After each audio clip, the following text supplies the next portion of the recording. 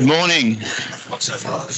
Good morning, everyone. Uh, welcome, welcome to Digging Deeper 2022. My name's Evan Marshall. I'm the Senior Project Officer from GSQ, and thanks for joining us here today. A warm welcome to everyone who's online as well. I know those online can hear me, but you probably can't see me. Apologies, there's a, a technical glitch there. We'll endeavour to have that rectified at morning tea. Without further ado, I'd like to introduce to the stage uh, a colleague of mine, Duncan Kerslake, um, who's going to be delivering the Acknowledgement of Country. Welcome, Duncan.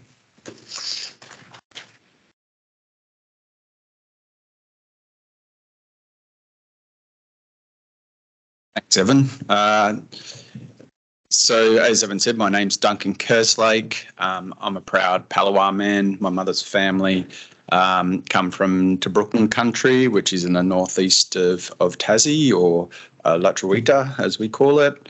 Um, and obviously, my dad's family came out to um, Tasmania in the 1800s, the Buxtons uh, from from Europe. So, um, just wanted to say, Yapulangina Milithana um, Palaitu, which means hello and greeting in our language, um, Palawa Kani, um, which is um, a combination of languages from our seven la- language groups due to the decimation of our people and our languages. Um, so it's being revived through Palawa Kani, which which is really exciting.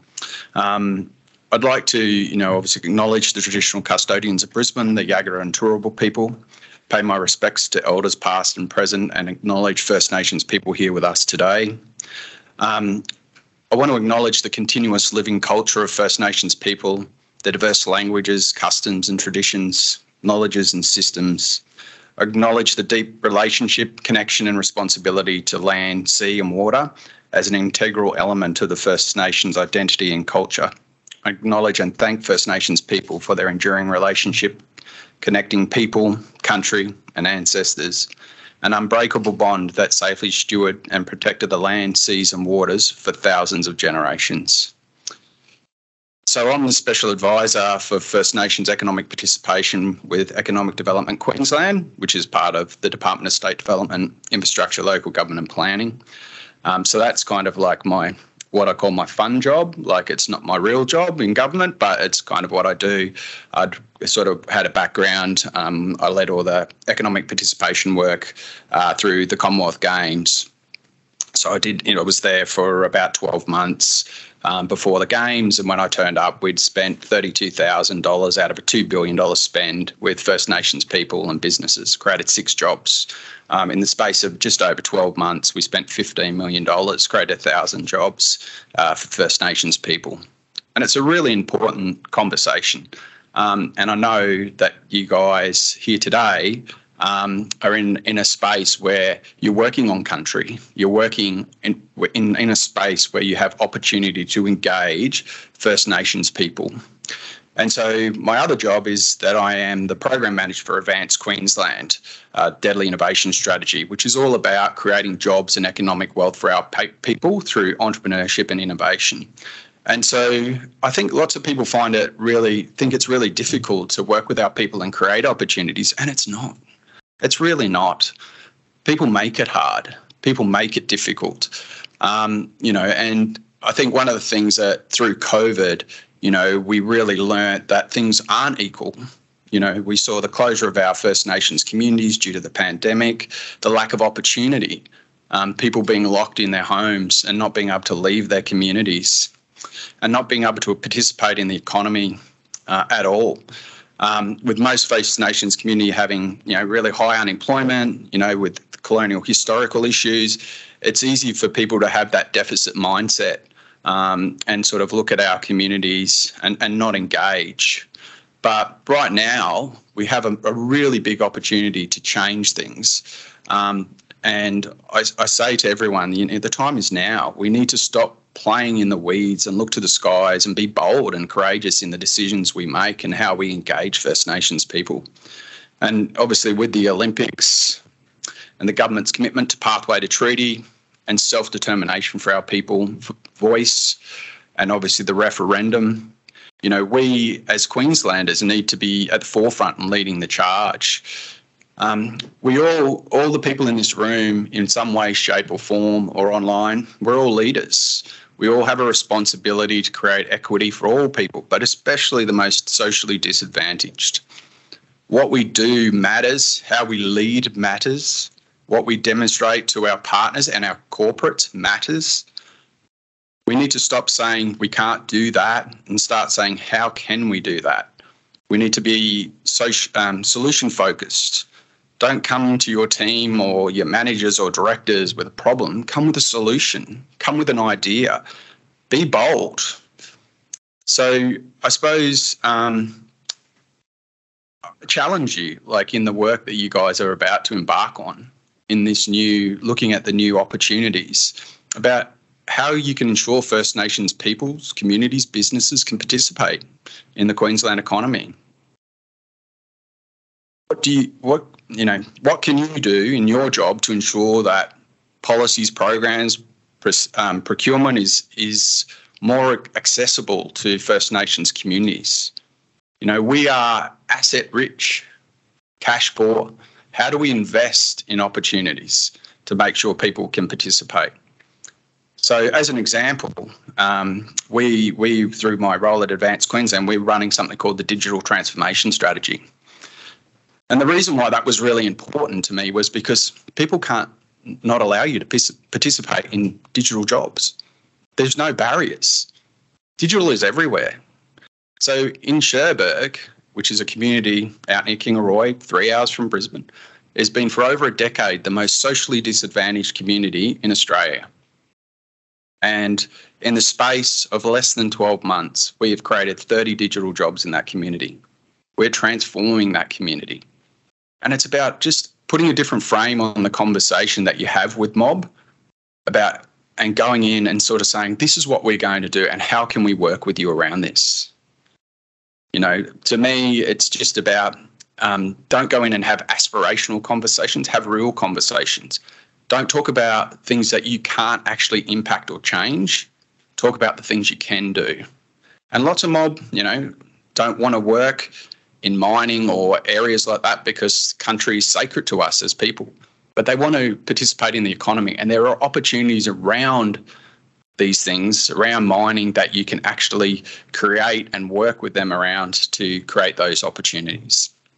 So, my challenge to you is make sure whatever you do, think about how you can engage First Nations people, work with traditional custodians. I know it's not always easy, the rite of passage, I call it, when you get growled at. I got growled at last week by an auntie. She went off at me, but you know, she hugged me at the end and it was all good. But that is just what happens. It is our rite of passage.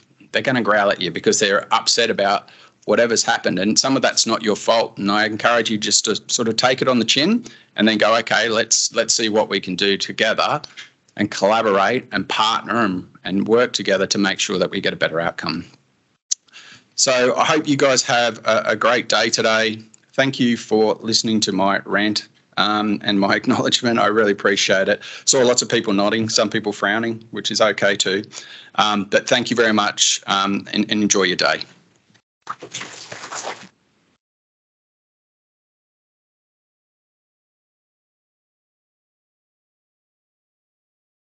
Thanks very much, Duncan, and um, I'm glad you didn't growl at me when I met you outside before to keep you waiting. Um, but just a little bit of housekeeping before we press on. The toilets, for those in the room, straight through where you came in and just off to the left.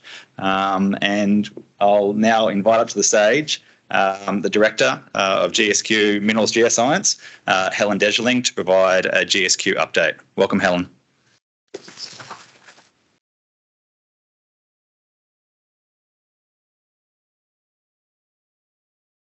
Seven, and good morning, everybody. Thank you so much for joining us today because our last Digging Deeper was actually in 2019. Um, and I can't tell you how happy it makes me to see all these faces in person here in the room. But because times have well and truly changed, I want to also welcome the people that are joining us online. Um, also want to say a big, before he's left the room, I think he's already gone, but a big thank you to Duncan for his acknowledgement of country and, and raising some really great points that are very pertinent to our activities out, um, out in the mining industry and exploration and with First Nations people. So, I myself would also like to acknowledge the traditional owners of the lands on which we're gathering here today, the Turrbal and Yagara people, um, and also those lands more broadly where those who are joining us online currently sit. Now, we have a big day today. We've got uh, 20 speakers. We've got people from GSQ, from industry, uh, from our academic and our government collaborators. So you're going to hear all about the great stories of innovation and success from exploration, uh, similar great new research uh, through our collaborative partners in, in academia and universities and, and other government agencies. We are also featuring nearly 20 posters out in the networking space, so you will have seen some of those going up this morning. They've been contributed by the various students who are supported by GSQ or who are working very closely with our collaborative partners. So those posters will be out all day today. Um, please take a look during the breaks, talk to the students about the, the work that they're doing, um, because there are some really great projects that have been featured out there. And in fact, that brings me to another point a perfect time to admire the work of these students would be during the post conference drinks that will be hosted by Anglo Americans. So, thank you very much to David Wood for, um, for organising that. We really appreciate it. It'll mean that we can definitely finish the day on a high, uh, which will be great. Now, I'm going to roll on. Um, we were meant to have Tony Knight here opening proceedings today. He's unwell, um, our Chief Government Geologist. So uh, you're stuck with me, unfortunately. I'm going to give a quick overview of the GSQ, where we've come from and where we're headed, before a bit of a dive into some of the new focus areas, particularly uh, for minerals. So, first, a little bit of history. Oh, look, it works. Buttons. the Geological Survey has existed for over 150 years. It was formed in 1868, one year after the Gympie Gold Rush. The GSQ even predates the state of Queensland as a defined entity, which I didn't know until recently, and I was pretty amazed when I found that out. The purpose of a geological survey back then was to harness the energy generated by the gold rush uh, into into an organisation tasked with supporting and securing economic prosperity for the region, which then became the state. Um, and that was mainly through mapping the natural resources and geology of the area. And you can see here one of the first airborne geophysical surveys in Queensland, and the two fine fellows on the left. Um, the, the guy on the left of that image is actually the chief government geologist at that time.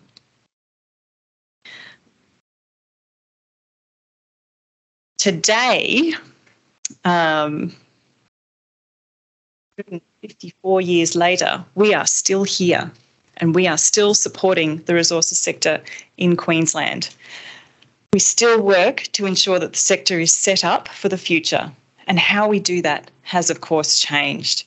Um, where we're looking has changed. We're so much focus, so much more focused on areas undercover now because that's where that untapped potential lies. Um, we've got development of techniques to help us do that and to understand in more detail the chemical, the mineralogical, and the alteration signatures that might help vector towards hidden mineralisation. But of course, not everything has changed. We still get out, we still look at rocks and refine those excellent maps where necessary and get our hands dirty.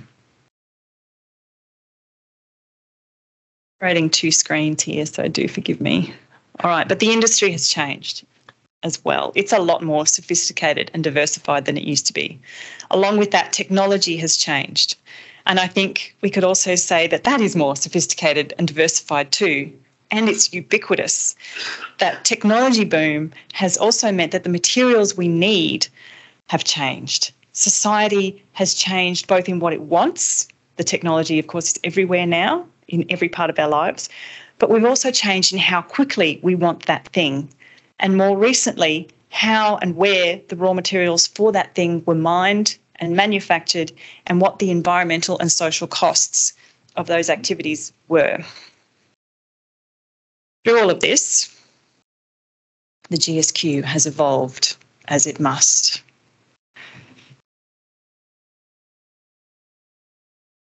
This is how we define our roles and our operating model now. It's nothing like anything the guys back in the 1860s would have produced. At our core, and I hope you can, I hope you can see the text um, in the middle of that that diagram. But at our core, we are balancing the priorities of people, planet, and profit. We wrap that within the mantra of sustainable economic prosperity. And you can see spinning out from there the different focus areas such as data, uh, resource protection, innovation, collaboration, the circular economy, and ESG.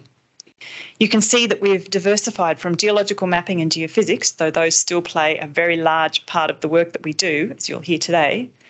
But we now include, to meet the challenges we've, that we see uh, on the horizon for our sector and our society as a whole, we've brought on different people with entirely different skill sets and we've created teams with a different focus than before. One of those is the Geoscience Information Team, whose lifeblood is the data that we collect, curate, and share.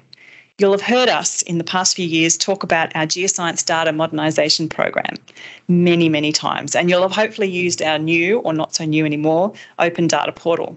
That work is not a one off, um, it's a constant evolution. It's a big job to transform 154 years of data, which comes in different forms, different media, different locations, different uh, measurement, different metrics, different standards, but we are getting through it. Another new team is the Georesources Intelligence Team, and you'll hear from the director of that team, Katrina Bond, in a moment. While the Geoscience Information Team live and breathe data, the Georesources Intelligence team revel in information and the interpretation of data that tells the big scale trends in the industry. The Minerals team and the Resources Planning team are longer lived. They've been around for, for a while.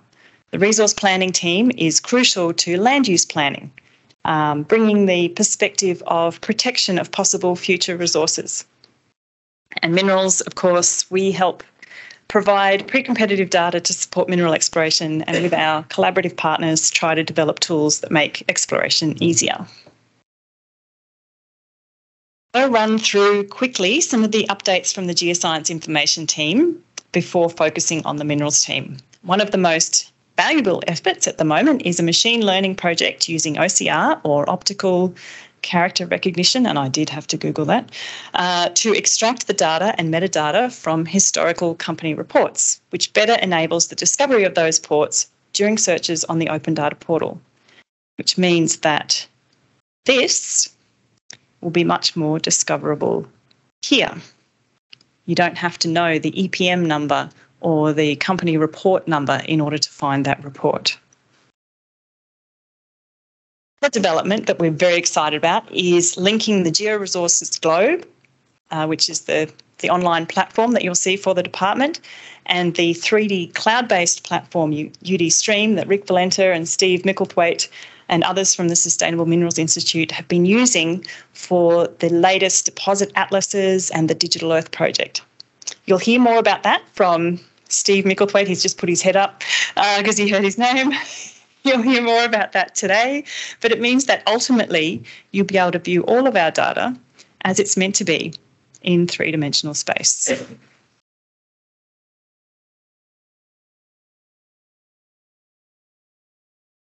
Now, to give you a taste of the work that's happening under the Queensland Resources Industry Development Plan. In June, the plan was re- released, setting out a series of actions for the government to support the resources sector through change and challenge over the next 30 years. Included in that is $37.5 million over the next two years to help position the resources sector for the energy, environmental, geopolitical, and investor shifts that we all know have begun to occur and will continue to occur across the globe. So, what does that mean for GSQ and by extension for the mineral explorers that we have here in the room today? Well, $10 million for the next two years for geophysics, $5 million for the next two years uh, for mineral systems studies and geoscience, and another $5 million for a new body of work on the circular economy in mining and exploration. And then we've got 17 and a half over the next four years for CEI, which or Collaborative Exploration Initiative, which Heather will talk about in a moment. And that's on top of our existing funding. We've also gone through a, a process of getting feedback, which I'll come back to in a moment. But these are the um, focus areas for the plan, the Resources Industry Development Plan, which are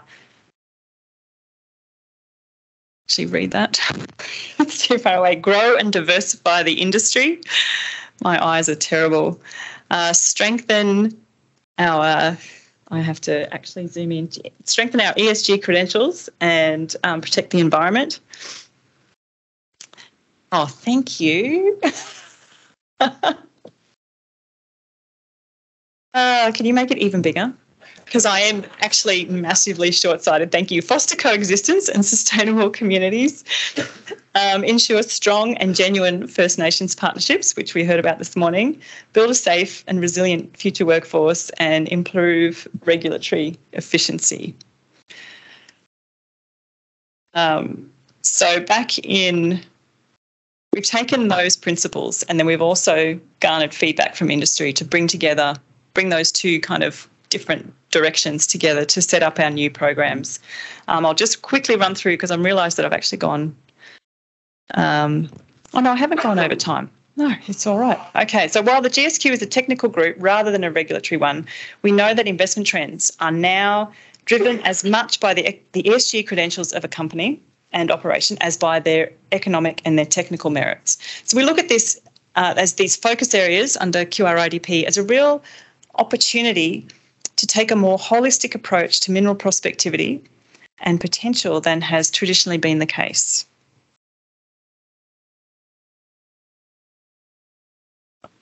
Up to myself. So, to marry those guiding principles with technical priorities from industry, here's a very brief overview of some of the feedback that we've received from explorers um, about our past programs. In short, as you can see on this graph, everybody loves geophysics, particularly gravity. Roger Cant, our gravity guy, will be very excited. All of the flavours of geophysics actually ranked very highly in our feedback session. From the more geological programs, the um, compilation projects such as the Deposit Atlas and the Geochemical Toolkit were ranked more highly than traditional mapping projects. And everybody really loves the Deposit Atlas, as you can see from the graph on the left there. So, full credit to Rick Valenta and the team at the Sustainable Minerals Institute because we couldn't do that, or we didn't do it at all. Actually, they did it and then we published it. So, well done, us. Um, for the geological or geochemical projects that generated new data, it was the work that helped understand the broader footprints and signatures of deposits that helped vector towards mineralisation that ranked more highly. We also asked which regions we should be focusing on geographically. We've spent a lot of the last few years under the Strategic Resources Exploration Program, um, which was associated with the Northwest Minerals Province Strategic Blueprint. We've spent the last few years focusing on the Northwest very heavily. So, this is the result when we asked for geographic um, feedback. The Georgetown Croydon area is a high priority as are continuing the under, undercover areas of the Northwest Minerals Province. So it's still a high priority for everybody. The outcropping Mount Isa Inlier and Northeast Queensland came in a tie for third. So again, we've taken this information on board um, when we've just been designing our future programs. Participants in the feedback workshop, some of whom are probably here, were also asked to nominate priorities for GSQ over the next five to 10 years and then to rank each other's suggestions. The highest ranked priority was airborne gravity. Again, we come back to that gravity thing, followed by better geological understanding in areas with little information. Um, and third was tied between updating our geological maps and with new data, new mapping, and updating the deposit atlases with new data. So trying to keep those current. Finding the QRIDP or the Resources Industry Development Plan focus areas with that industry feedback. I'm going to quickly run through some of the new projects, but you will get a deeper dive onto some of those. So I'm not going to try and steal anybody's thunder from later talks in the day. Um, starting very, very quickly with geophysics for discovery. Airborne gravity was the top of the list. I've mentioned it several times already, so obviously that's there. Um, MAG and RADS as a must, airborne EM, Um, we don't know where we're going to put those surveys. Janelle have, might, might have some more insight into that later today, but um, we know that we'll be guided by the interest in undercover regions around Georgetown and Croydon. Um, we'll also continue our work in understanding in more detail the geology and structure of prospective regions undercover. Um, we're going to try some deep seismic uh, to fill in the gaps between the northwest and the northeast mineral provinces, and we've also committed to doing some petrophysics on uh, core and samples from well-known deposits to aid in the interpretation of geophysical data undercover. Next, we have our new economy or critical mineral systems and geoscience. So, given the popularity of the deposit atlases that have been produced so far, of course, we can't do anything but continue that excellent work um, in collaboration with the Sustainable Minerals Institute. Thanks, guys. Half of them are sitting up at the back there in the Naughty People's table.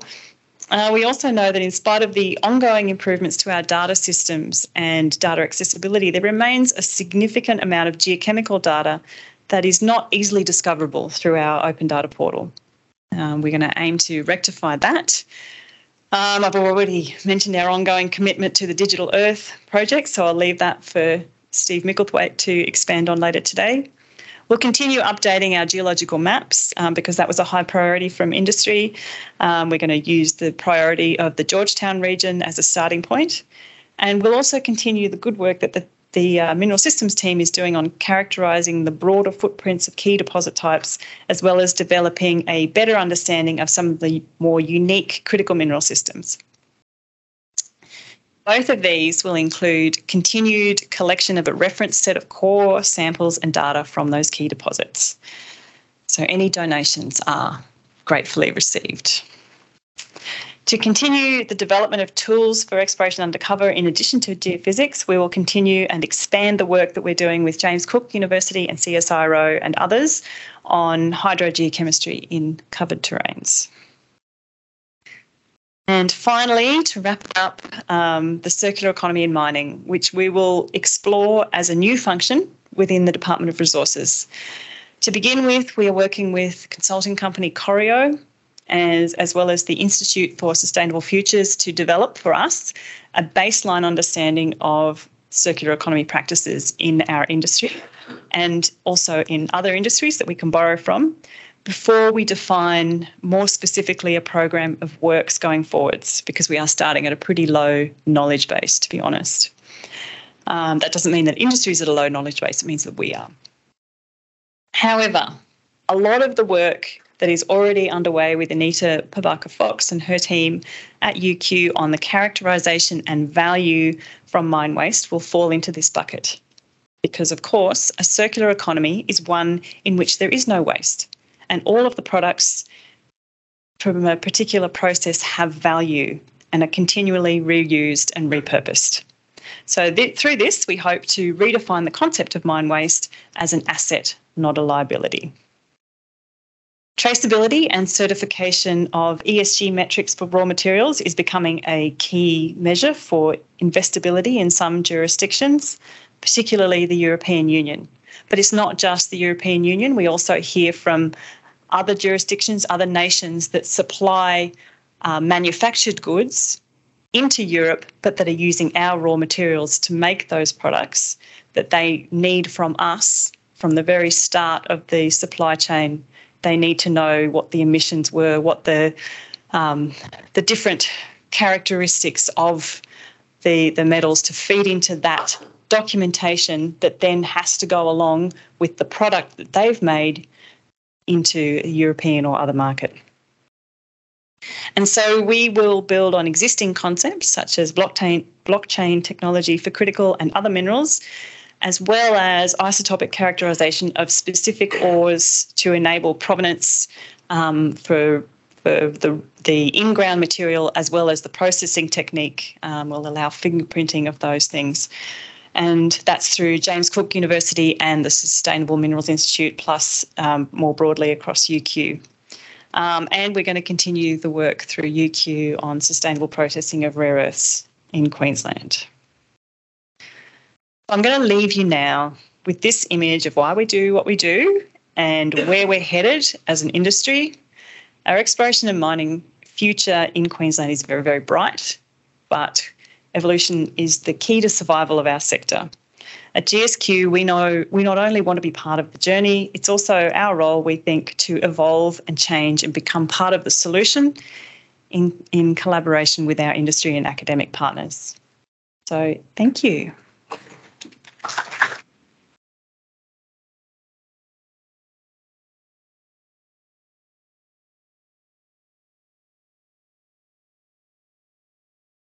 Thanks very much, Helen. I'd now like to call up onto stage Katrina Bond and Patrick Calderwood, uh, who will be presenting on the economic and resource sector outlook. Welcome, Katrina and Patrick.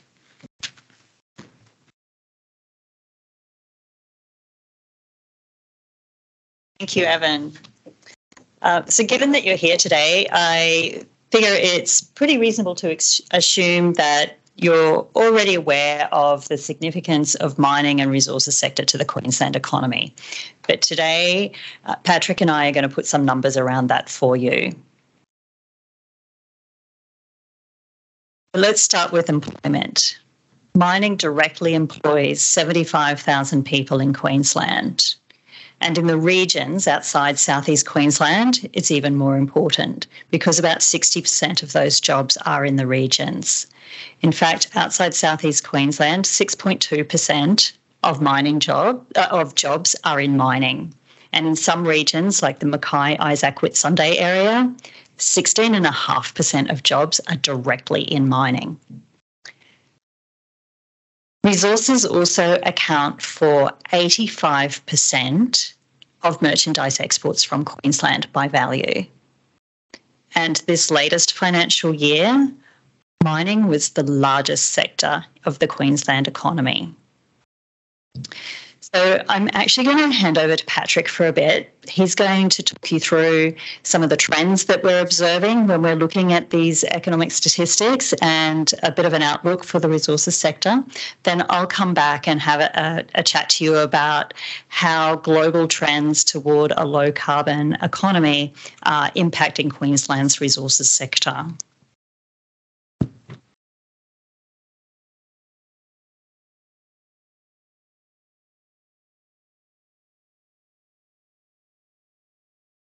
Thank you, Katrina, and good morning, everyone.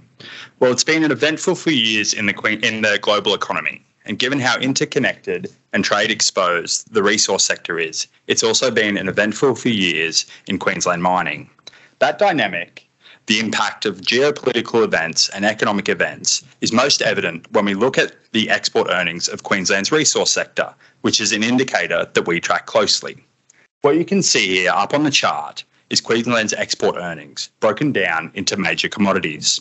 The two major events that have shaped the fortunes of the global commodity market over the past two years have been COVID 19 and the way demand and supply chains have adjusted in response, and Russia's invasion of Ukraine. These have caused drastic shifts in Queensland's export earnings, which are currently at record highs. Over the last 12 months, metallurgical coal was up around 170% to $61 billion. LNG was up about 80% to $21.5 billion, and thermal coal was up around 175% to over $14 billion. Mineral exports were also up to $11.2 billion, but have not seen the same significant growth as Queensland's other resource commodities. So, what's been driving these historic gains? Across Queensland's traditional con- uh, commodities, that is coal and LNG, there are several similar factors at play. The, the first thing, and probably the most important thing to be aware of, is this is very much a story about rising prices rather than about changes in the volume of exports. Which is why, while we're seeing historic gains across our export earnings, we're not necessarily, not necessarily seeing that translate across all of our other economic indicators. What we have on the chart here is uh, the value, export value of metallurgical coal, which is in the dark blue line, and compared to that is the premium hard coking coal uh, spot price. You can clearly see that there is a strong link between these two. Following the declaration of the COVID 19 pandemic, the global economy went into a downturn, which saw prices drop to below US 150 a tonne. In 2021, uh, supply chains, which were still being constrained and affected by the impacts of COVID, uh, were restricting supply, but there was an upturn in demand, which saw a resulting price uh, price increase.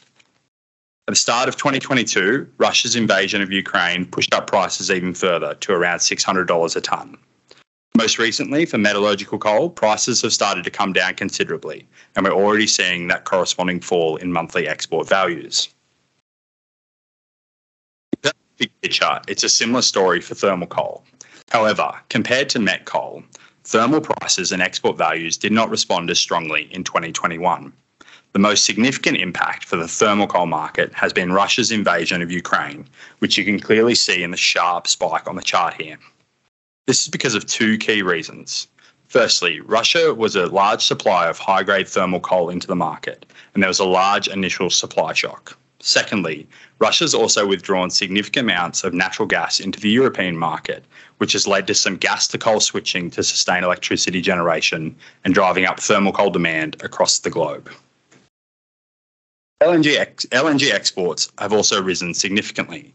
Around 80% of Queensland's LNG is exported under longer term contracts, which are linked to a lag oil price. What we have on the chart here is in green is the LNG export values compared to the Brent oil price. The Brent price has been plotted about four months ahead to account for the long term nature of these contracts. Because of this lag, changes in the oil price, price take longer to flow through to export earnings than for other commodities.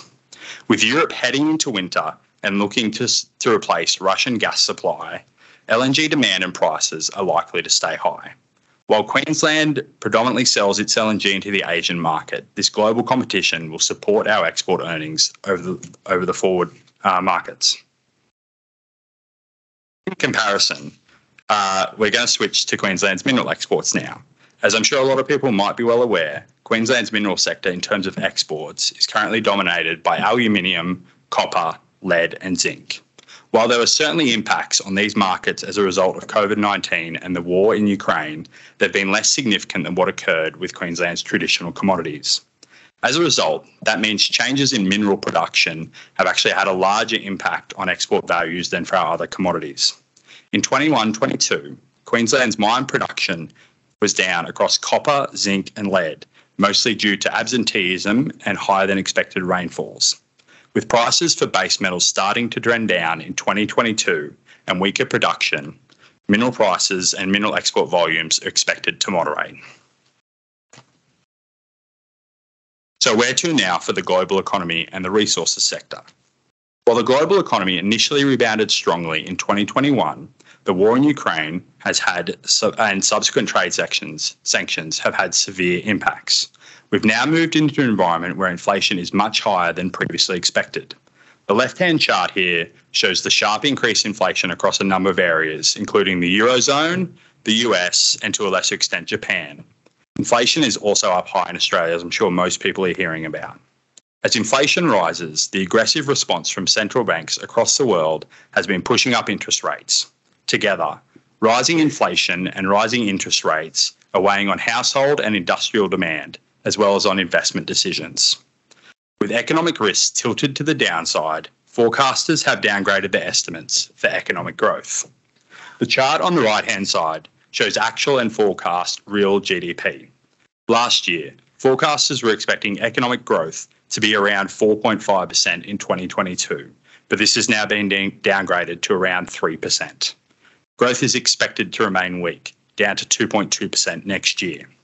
Given that the global demand for our resources is linked to economic activity, this slowing growth is likely to result in less demand for Queensland's commodities overseas. As economic growth and demand for resources uh, slows, prices are expected to ease. These charts show actual prices for Queensland's traditional commodities, with forecasts on the right hand side of that vertical dashed line. Prices across all traditional commodities are expected to moderate over the next few years, especially for thermal coal, which currently remains at historic highs. While prices are expected to ease, I think it's important to note that they're likely to remain well above levels seen prior to COVID 19.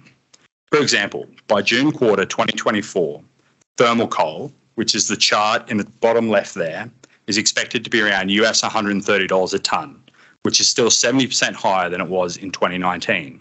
Similarly, Brent oil, which is the chart on the top right, is expected to be around $80 per barrel, 25% above what it was in 2019. Prices for base metals are also expected to moderate. However, as the world continues its transition towards a decarbonised economy, there'll be some upside support for the prices of Queensland's mineral exports. For example, supported by the uptake of energy efficient cars and technology, prices for copper and aluminium in June quarter 2024 are expected to be around 40% higher than in 2019. I mentioned at the start that these historically high export earnings haven't necessarily flowed through to some of our other economic indicators. One of those other indicators that we track closely is mining investment. This chart shows private capital expenditure in Queensland's mining industry over the past 20 years. The large spike in the middle is the LNG investment boom, which peaked at about $33, million, $33 billion in 2013.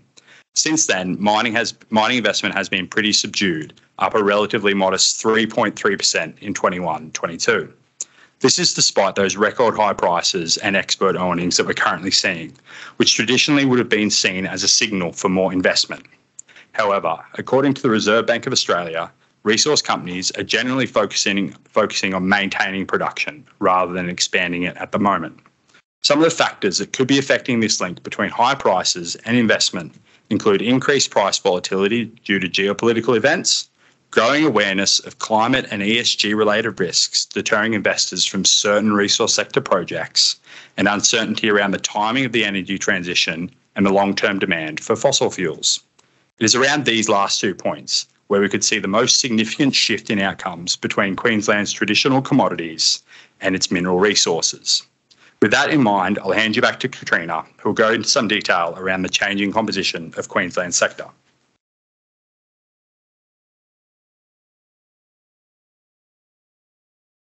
Patrick. That's a, great introduction, and thanks for ending up there on the energy transition point because that's what I want to pick up on now. Um, and where I want to start with that is um, the International Energy Agency produces an annual report called the World Energy Outlook. And the charts you see here are taken from that. You can see that um, there are three scenarios plotted there for the International Energy Agency's forecasts the um, the, the stated scenarios, uh, the stated policy scenario, and then announced pledges. And then the third one is a scenario where we reach net zero emissions by 2050. So you can see it on the graph on the left. In all three scenarios, demand for coal is expected to decline. But for the, the middle one, nat- natural gas, what you see is if we were to stick to stated policies, demand for gas would actually go up globally in the short term and then plateau. But with announced pledges or the scenario where we reach net zero by 2050, then you see that demand for gas coming down over time. But in all three scenarios, the demand for renewable energy is increasing. And that creates opportunities for critical minerals.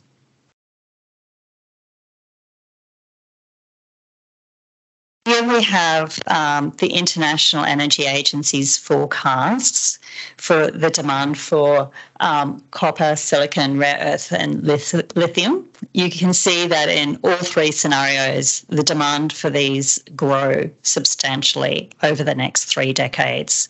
Copper demand, for example, at least doubling over the next three decades. Now, uh, it, oh, we're missing a slide there. There's meant to be a map, but it must be hidden.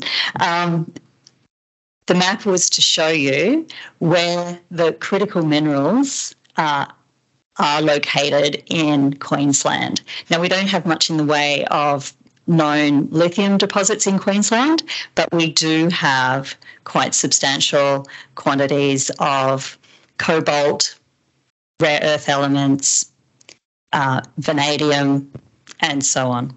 Oh, somebody's going to unhide that for me. Thank you. There we go. there's uh, a lot of opportunity there, and Queensland is well placed to benefit from that increasing demand for critical minerals. The next couple of slides I'm going to show you, um, as an economist, I find really interesting.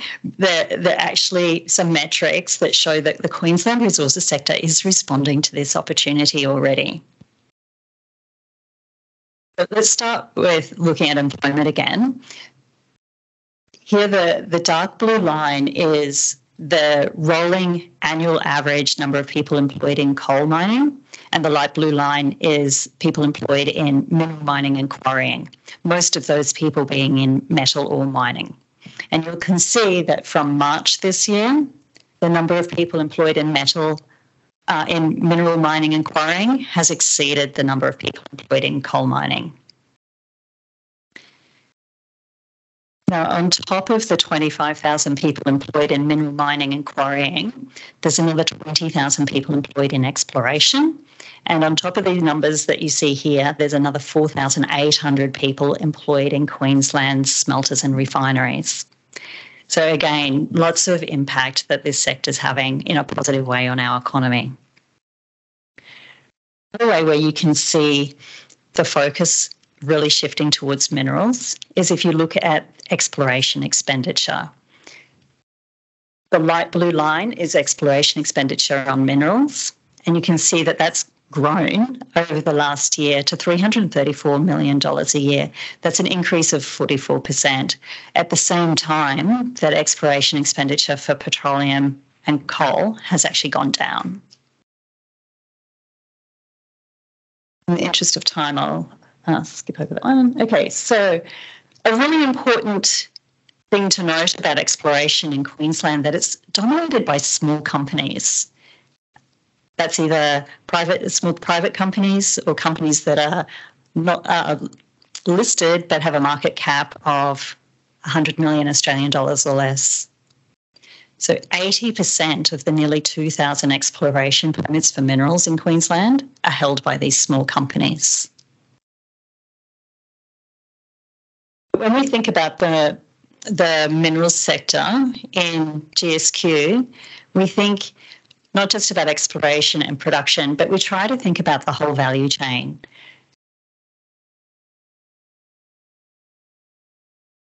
The reason we do that is because if we can identify gaps in that value chain and help to plug those gaps, we can create more opportunities for the critical minerals sector create new markets, and some value added within Queensland. This is an example of that value chain work that my colleague Artem, who you'll hear from later today, has um, produced for me. And um, you can see that there are a lot of companies involved in the battery mineral value chain in Queensland. We've got an impressive array of technology companies, particularly for lithium batteries, but we're really excited about also the opportunities for vanadium flow battery, redox flow batteries.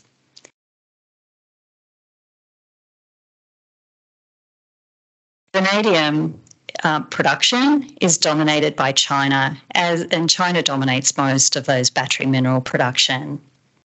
Um, but Australia has about a quarter of the world's reserves in vanadium. And Queensland's a big part of that, but we don't commercially produce or mine vanadium yet.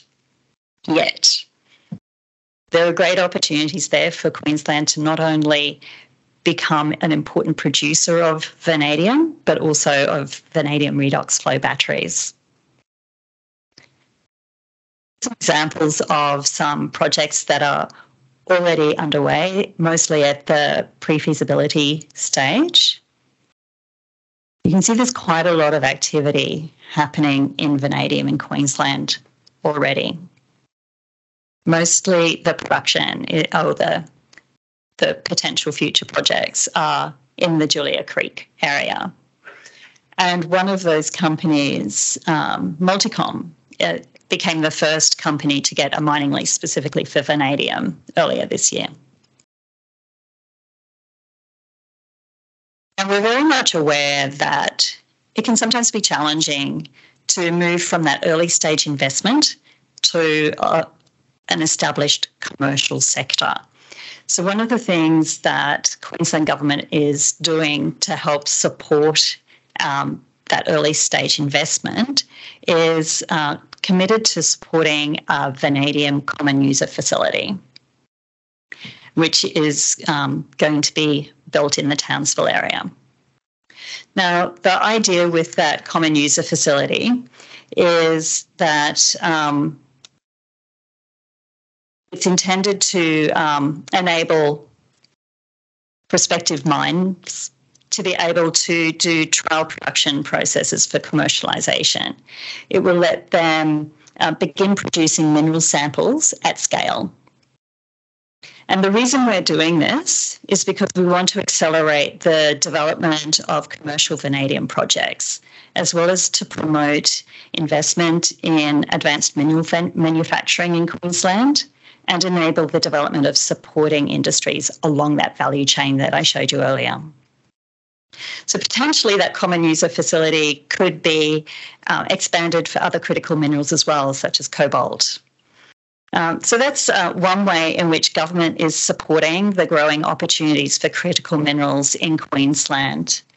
There are many other initiatives that you can read for yourself here. Um, but I just wanted to uh, use this time this morning to give you a sense of the importance of um, mining and exploration from an economics perspective in Queensland, but also some of the trends that are shaping that sector and how um, the Department of Resources and the Queensland Government more generally, uh, and we here at GSQ are working to ensure sustainable economic prosperity for Queensland. Thank you.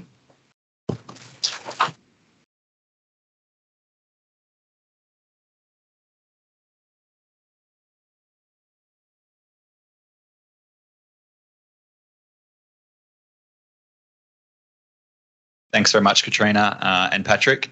I'd now like to call up uh, Artem Golev to the stage. Uh, Artem will be uh, talking on uh, ESG, which follows on very nicely uh, from Katrina and Patrick's talk. Welcome, Artem. Good morning, everyone. We'll look at a higher level uh, what is ESG and what it is not. So I will try to convince you that it's important, but I'm sure most of you know this already.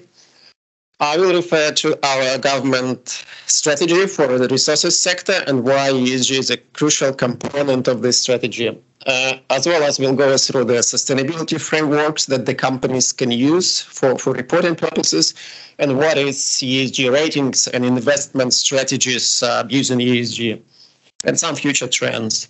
So let's start with the basics. Um, ESG, environmental, social, and governance term, is exactly 18 years old term, so it's it's it's quite old in modern days. But only relatively recently, in the last few years, it became very popular, and essentially it used as a synonym to sustainability, sustainable development, uh, and how we can see and assess the sector. Um, it's important that we have frameworks that we can, in a comprehensive way we can report and we can compare companies. So that's that's as well very important to know.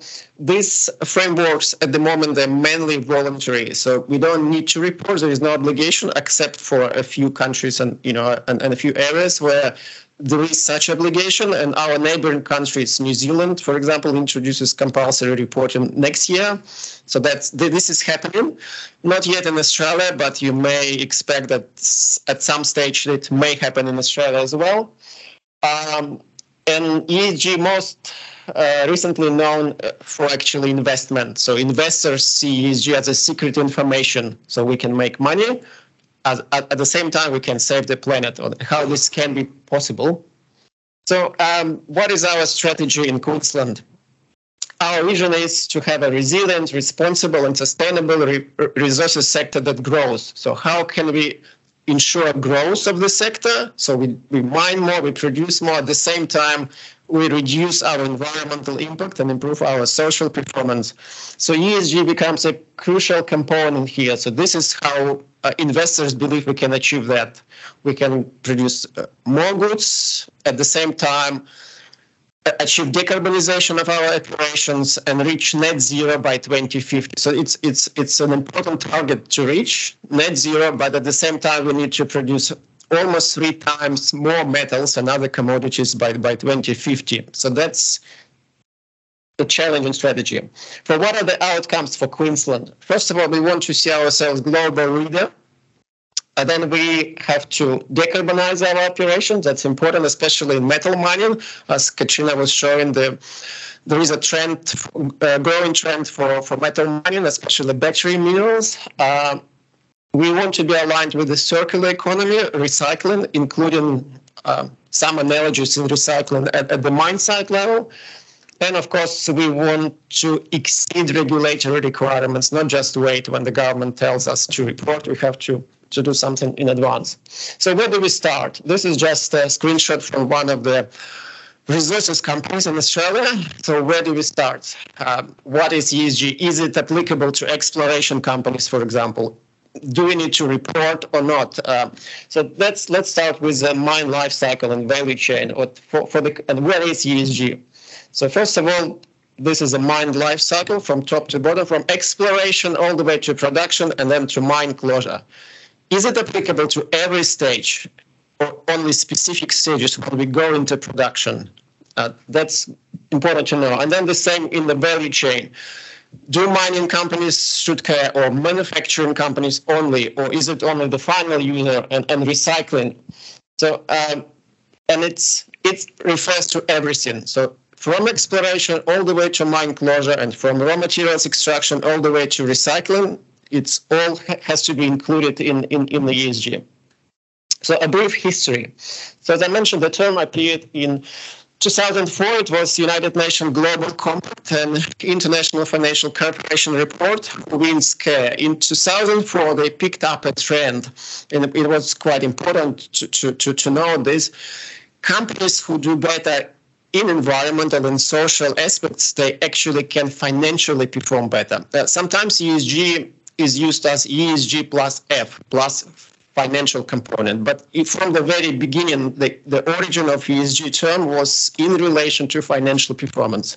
If we do better, from a sustainable point, sustainable development point of view, it is often also means a higher profit for, for the company and for investors. That's why it was important it's not you know, something that appeared from, from nowhere. There were many efforts around the sustainable development and particularly for the reporting purposes. So these are this, uh, the reporting frameworks. The, the first one appeared in 1997, GRI, and many companies report in accordance with GRI. GRI uh, Global Reporting Initiative, and all the way to 2021. So there are new standards appear, and there will be more standards, uh, as well as you know our neighbor New Zealand will also develop their own national standards for reporting based on, I believe, TCFD.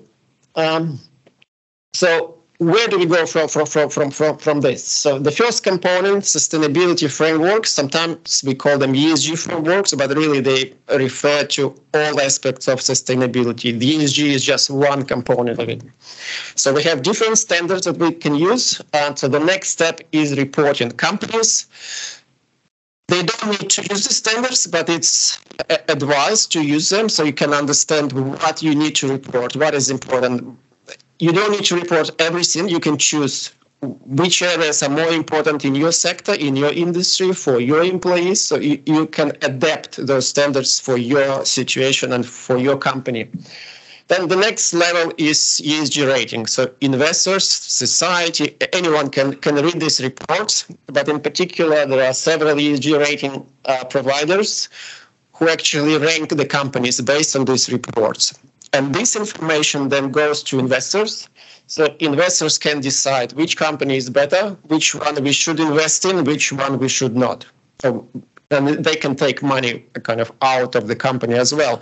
So this is where we want to see our Queensland resources sector being attractive. So all, all our companies have good ratings, they show good performance, so investors happy, they can come and uh, support the development of those companies. Um, so what are the examples? So what information actually companies put in their report? Some companies simply do sustainability reporting. Some of them specifically issue ESG reports. It, it doesn't really matter. You can choose and it can be part of your annual report the same way. So we can report on our renewable energy breakdown. What is the percent versus non-renewable? So what is our energy efficiency? Is it goes up or goes down? What is our, um, our waste management, what is our water use, as well as it's not just performance, it's also we have to report what are our targets, whether we achieve our targets or not. There are different social as well indicators you can choose. Again, this is just examples. It's some numbers that investors can look at and then can decide, okay, I can see you are really environmentally conscious you have good strategy, you have good plan, and most likely you will be, achieve better results than your competitors. So they want to see these numbers and they want to see positive trends in, in different areas. So uh, now let, us go to ranking.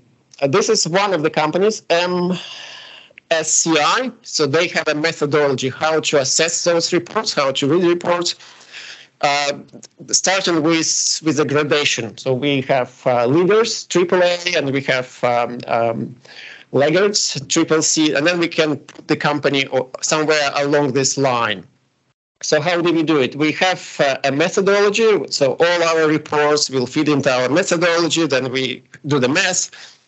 We use other information. Uh, overall, they have, uh, again, three pillars, environmental, social governance, uh, three, then 10 themes, and then multiple indicators they can use uh, not all of the information may be available. Sometimes they have to use uh, their expert opinion or extrapolate, and then they can identify how good or how bad is the company. So now let's have a look at some of the results for Queensland. So we have Rio Tinto here and Glencore. So you can see they both have average ESG rate, rate rating. Uh, this is for the non-precious metals industry. So they're not too bad. So you, you can see a lot of companies actually uh, uh be, oh, far behind at the triple C or B level in the red. So then you can see a bit more details, such as this, for example. Oops.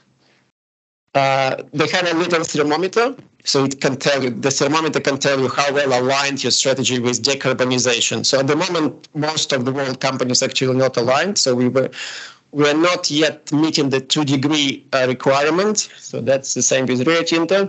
You can see some trend over time. The, the ranking didn't change. Then we can see as well what areas they are better and they are behind. I think it's a labor management.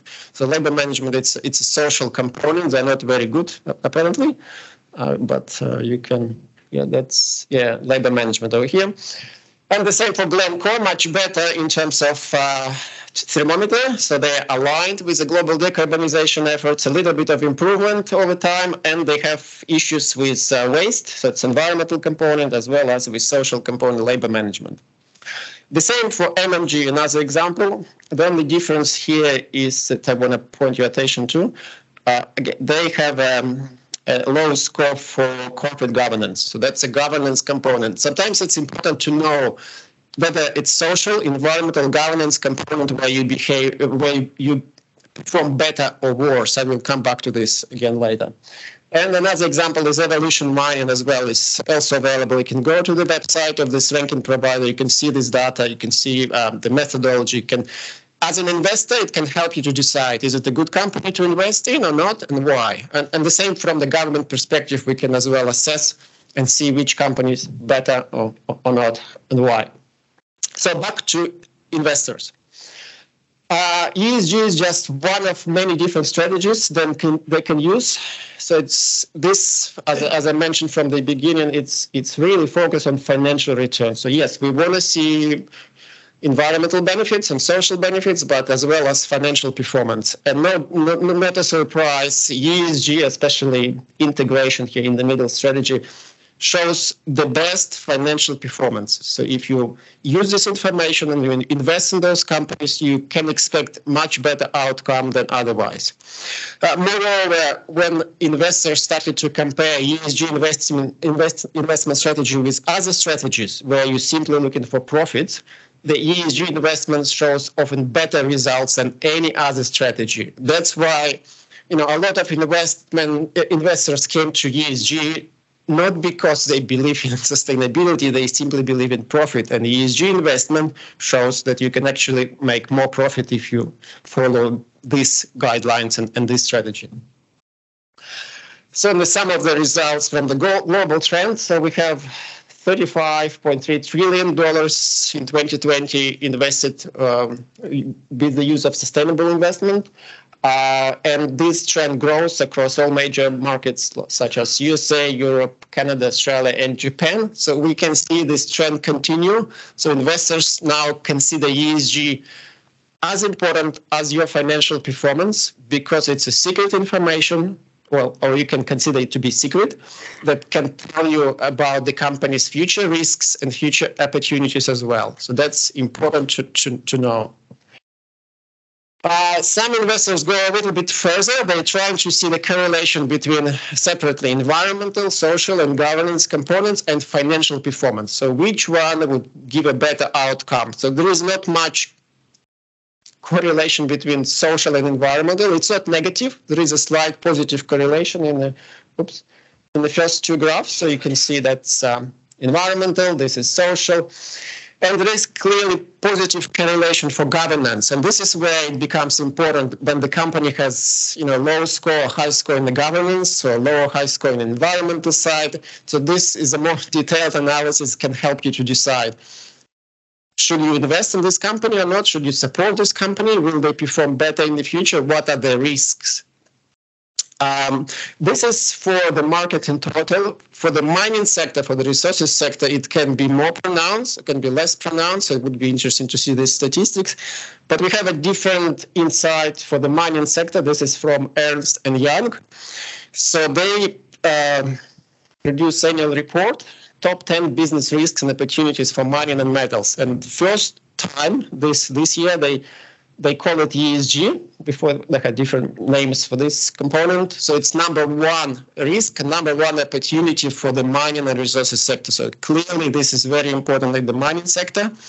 And the future trends is that it will continue to be important.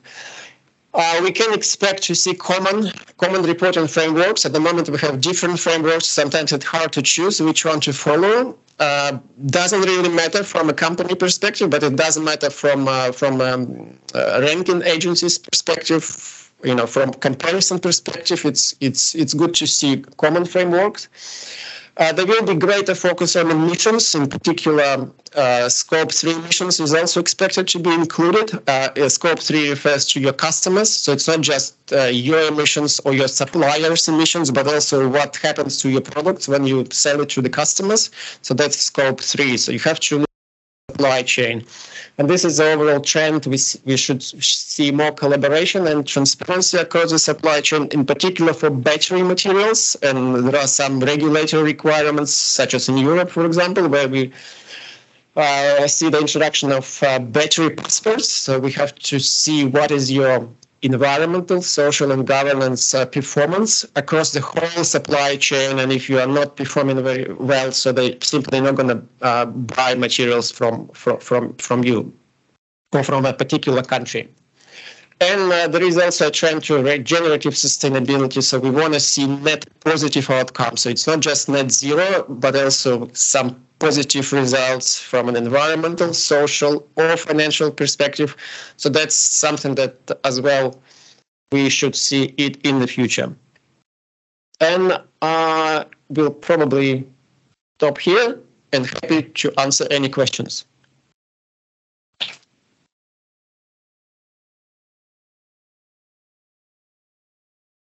Do we have time for questions? Just checking if there are any online, Artem, just a moment.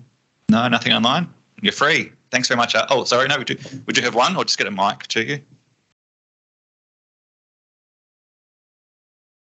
Hi, um, that, thank you for the talk. That's really quite interesting, and um, I'm really now I'm a geologist and, and researcher, so I've never looked at the economic side, and now I'm thinking more about it. But what I really wanted to know in terms of ESG and guidelines, for example, if you if the government was going to go and introduce a policy to regulate these things, would there be a, a strict guidelines document? Because I feel like ESG and how it's defined at the moment is is a little bit arbitrary in my opinion is that you know who who judges what's what's a you know how a company reports uh, their ESG you know how you know what are the metrics um, is there are there guidelines for the companies or they just sort of do it themselves well there are frameworks um, um, so, but they are guidelines essentially. So they tell you what you should know, what you should report. Doesn't mean you have to report. They just help you. It goes back to the company itself. You know, if you believe in sustainable development, if you really want to achieve positive outcome, this is just a document that can help you to do just that. But if you don't believe it, you know, there is uh, that's the, the document, the guidelines, they cannot help you. Yes, many companies can do greenwashing, they just they want to know, okay, what are the indicators? We just will add them to the report. We'll tell everyone that we are great. And if we're not great in certain areas, we will just not report about those areas. So that's that's a, a lot of criticism comes where companies actually pick which component or which indicator to report on, which one not. Obviously, if you know you're good in something and not very good in something else, you would choose. and there is at, the moment it's voluntary, so you're allowed to choose. Uh, when it becomes compulsory, then you have to cover the whole spectrum of of the you know re- reporting or disclosure requirements. That's that's probably will improve uh, uh, improve the situation for investors as well. So it is often the negative outcome often goes back not to the indicators themselves, but to the way how companies report. They just don't tell you the full story, and investors make wrong decisions just based based on greenwashing.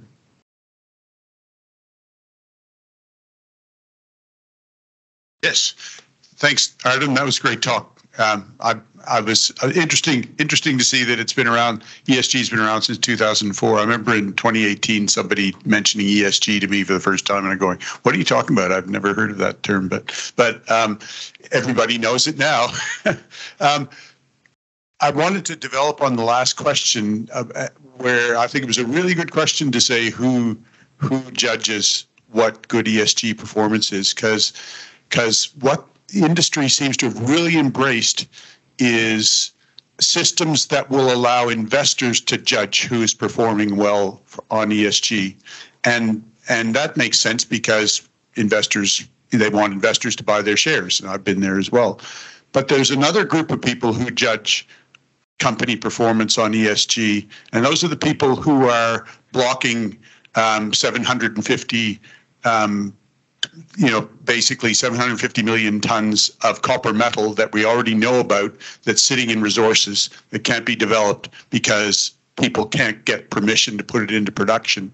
And when I look at the sort of list of criteria that that appear on your ESG, the MSCI or whatever it is, ESG list, I don't see too much there that is going to free up that 750 million tons of copper metal that's tied up um, in ore bodies that can't be put into production. So I think there's a whole task that we are avoiding by focusing on getting investors to buy our shares. Um, but I was interested to hear if you had any comment on that. Yeah, I might not mention it, but I think there is, um, uh, you know, um, people misunderstanding what ESG is versus what ESG is not the reason it became so popular only recently because investors started to use it as a strategy to, to see what company can perform better. But obviously, in investment, you need quite a long period of time sometimes to prove statistically that it makes a difference if you use this as an investment strategy. Uh, it's not the same as sustainability. Again, ESG is just one way to see sustainability. Even in sustainable investment, ESG strategy is only one of many other strategies. So for investors, when they say ESG, they often refer specifically to ESG investment strategy that they use to choose which company to invest in. It, it has it has something to do with sustainability, but not not you know not fully kind of comprehensive way. It, it, it's a different concepts. Yes, they they kind of um, they connected, but it's not not the same. And when when you refer to unlocking new potential, talking you know to to the um, to the community and showing the positive environmental outcome, we are referring to concepts. We are referring to frameworks. Uh, uh, uh you, you, may kind of use this starting um, starting step but we are not referring to the last step where investors make a decision. So we have to see the whole picture. If we only focus on the last point, uh, you know, financial performance, and ticking the boxes, that's a very narrow definition of uh, sustainability. This is what ESG often is. It's a way to, to tick the boxes for both planet, people, and profit. It's not sustainability. And many investors actually choose not to use this strategy because they want to see positive outcome for the planet, for the for you know for the environment. They don't care about financial performance. It can be negative. Doesn't matter. If you can achieve more for the environment, this is what I want. This is why I want to invest. So that, that these are different approaches. You know, you ESG specifically focus good and profitable. But there are many cases where it's, you know, it, the same way to unlock your deposit, you may need to go, you know, net zero or, or even negative for profit because you have to support environment and community. This is how you can unlock your deposit. But ESG, you wouldn't meet the criteria of ESG. You have to be profitable as well.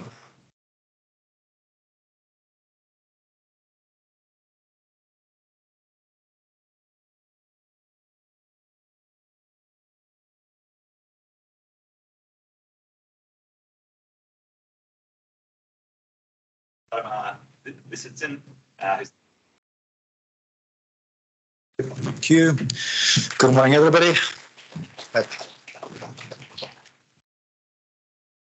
I will give you a, very quick introduction of the Mineral, uh, Geoscience Group, the group uh, directed by Helen Degeling, Hopendale Procedures today, and I'm going to focus on the mineral systems uh, uh, team, uh, which I manage, and Matthew Greenwood and Heather Sparks are going to introduce activities in their respective teams. And I will try to honestly try to be brief in the interest of time, but it's it's something I care about and I keep talking about to anybody who's willing to listen. Let's see how it goes. Yes. Okay. So our main purpose of the existence of, uh, of our team, the team of nine, uh, relatively young team, we exist in our current form uh, for just over three years, uh, is to essentially characterize uh, uh, major known and potential mineral systems in the state of Queensland, characterize in particular their potential productivity, their potential, their critical mineral potential, uh, what happens about within uh, deposits, but also what happens regionally with the other scale of mineral systems.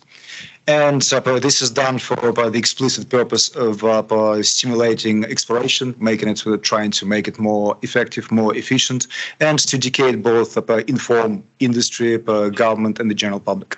And this is pretty much the the general uh, framework we're using always to decide what we do and how we do it. And so the scale of work is like we're looking at trying to look at the entire mineral province, at the entire mineral system, which is a, a big spatial scale of uh, hundreds and thousands of kilometers. Uh, we need to focus, so we're focusing about currently and over the past several years uh, to northern Queensland, northeast, northwest. It's the area of uh, thousands of kilometers and uh, dozens of deposits uh, worth talking about. Uh, we're trying to uh, characterize uh, scales from deposits and up uh, so it's it's in a way it's a, it's an attempt to create a, jigsaw puzzle picture which allow people in the industry to navigate at a, uh, at a scale of the region and zoom into the place which is likely to become the next big deposit. And the focus on uh, critical minerals became quite clear and obvious, and that affected a great deal of how we do our work and what we pay attention to. So we're paying a great deal of attention to identify what's in the ore uh, even though deposits are known for a long time. And it's a safe enough assumption that uh, if a deposit has been mined for 20 years, of course, people know it's copper and gold, but, uh, but quite often it's uh, much more than copper and gold. And uh, the story of critical minerals quite often uh, is about what else is there.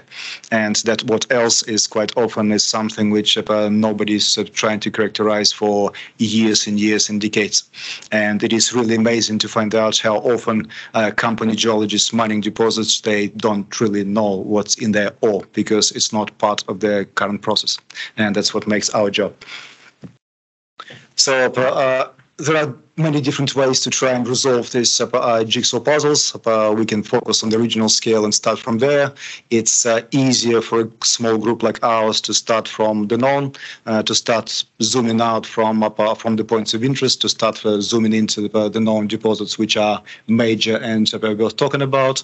characterize the internal variability, what's in the ore, what's in the alteration, and expand from there to try and pick up the signals which we can clearly see in the uh, trace it into uh, the obvious alteration, and uh, with a great goal to step out and trace the signal as far away as possible and that's uh, that's pretty much uh, two end goals to characterize what's inside, and uh, what can help in critical mineral development in the state and in the country, and how to identify in multitudes of properties which can which you can measure, how to identify the signals of the mineral systems which you can trace for hundreds and thousands of meters.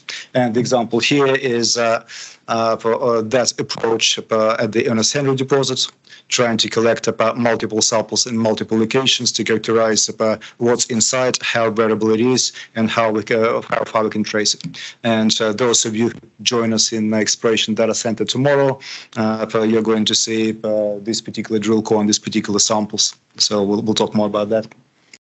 And uh, the general workflow uh, it all starts from uh, the accumulation of the drill core, uh, drill core of of the known position in the deposit, representative. Uh, quite often, it's a very unsafe assumption. I don't know what it sounds is fine, ignore it. Um, uh, quite often, it's a uh, it's a safe assumption that uh, that drill core exists. So we have uh, two explore, well, exploration data center and core store facility in Mount Isa.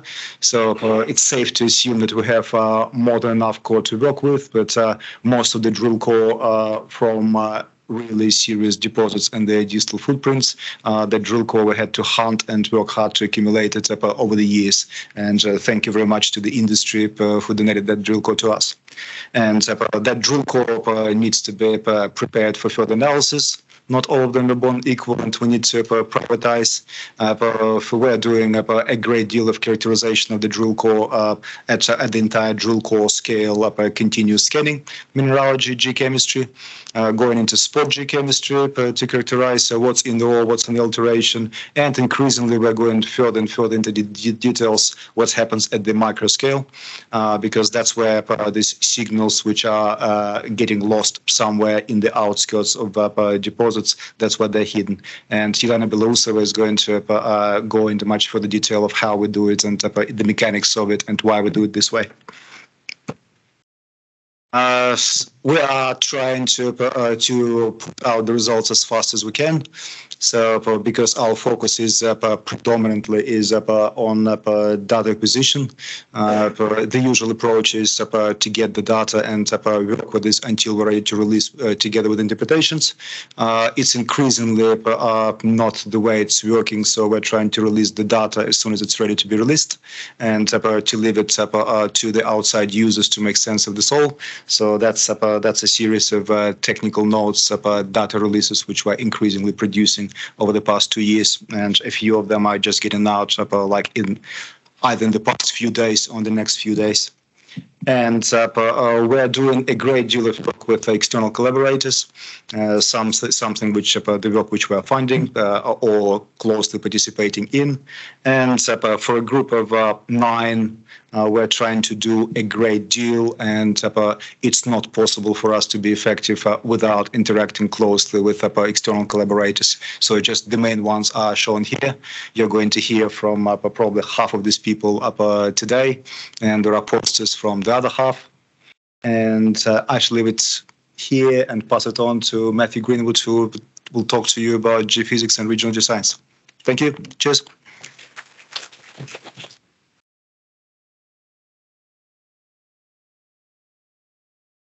Thanks, Vlad. Um, my name is Matthew Greenwood. I'm the manager of the regional compilations team uh, within the Minerals Geoscience Group.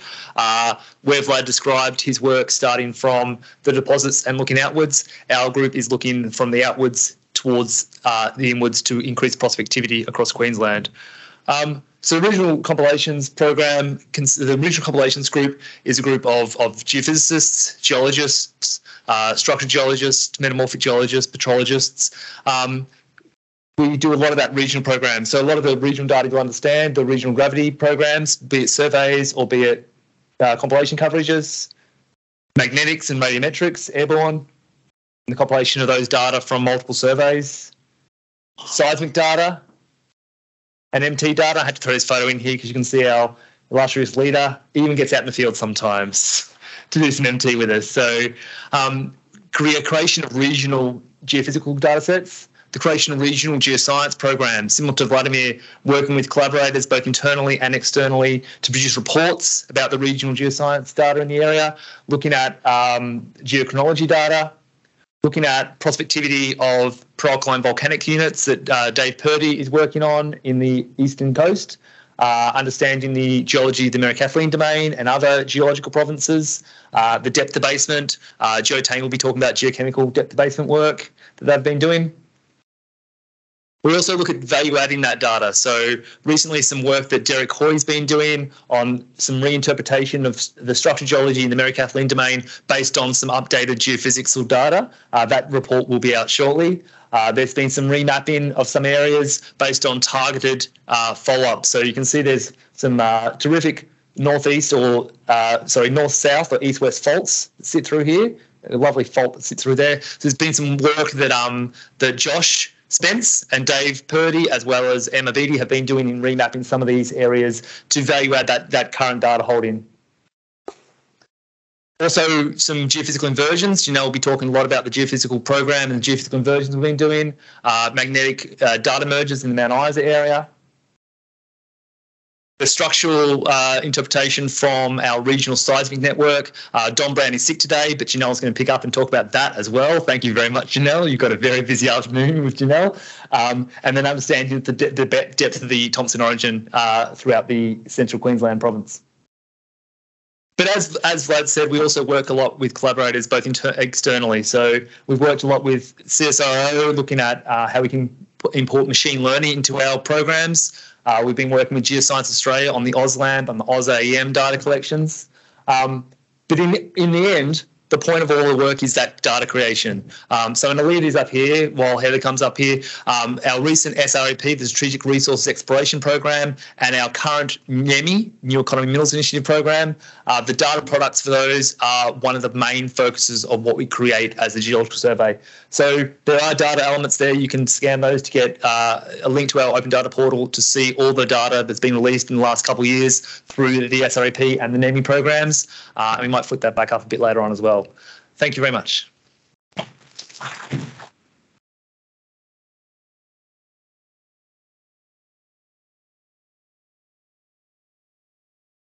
Alrighty, good morning everyone. I'm Heather Sparks. I work at the Geological Survey of Queensland on a number of our industry engagement activities, like this one we're hosting today. And in particular, I manage our Collaborative Exploration Initiative, or CEI.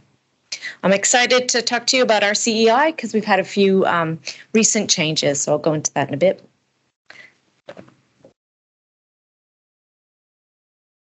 We hold a number of engagement activities uh, throughout the year, as none of the work uh, that we do would mean anything if we didn't get it out to um, you guys today. So, for example, today's conference would not be possible without the work of Evan Marshall. So, a big thanks goes to Evan today. because today's event would not have been possible without his work. So thank you, Evan. Um, tomorrow we're holding a mineral systems workshop out at EDC. I think the event now is full, but I'm really pleased to see how many people were actually really interested in the event. So I'm going to make sure that we hold more events similar to that uh, next year. Uh, we also hold uh, monthly webinars with our UQ collaborators.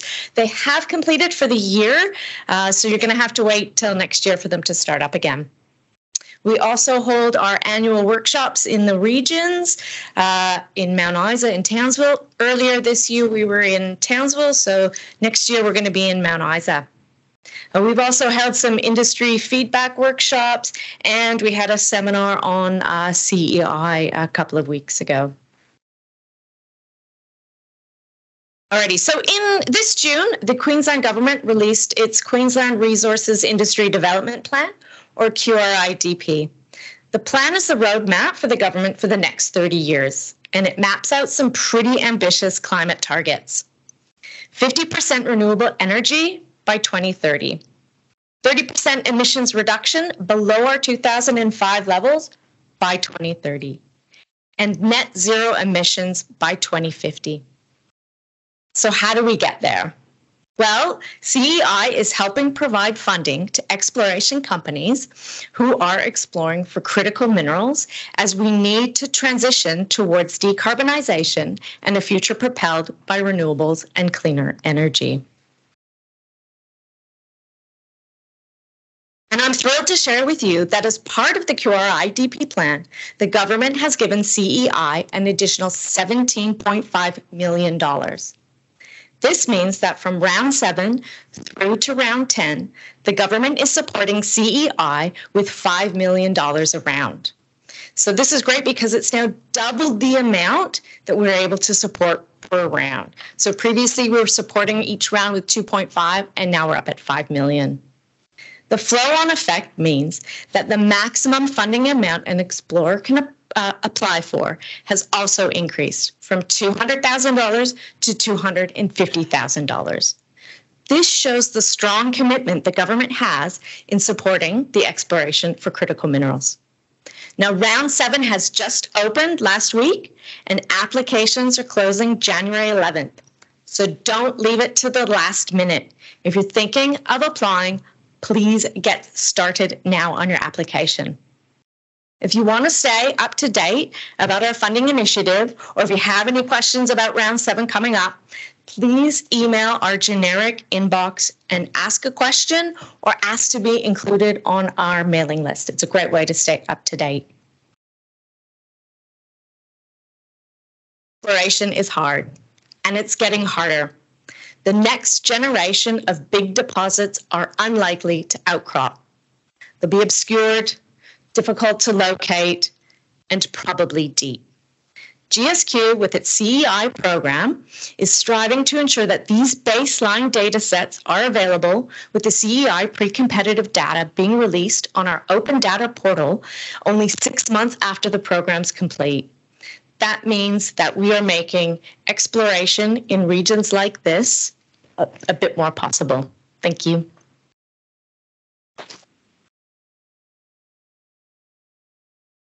Thanks very much, Heather uh, and Matt and Vlad. Um, I'd now like to call up onto the stage David Huston uh, from GA, uh, Mineral Potential of Australia, uh, Energy and Groundwater, uh, and talking about the Critical Minerals Mapping Initiative. Welcome, David. Hey, Evan, thanks for that. Um, so today I'm going to talk about the Critical Minerals Mapping Initiative.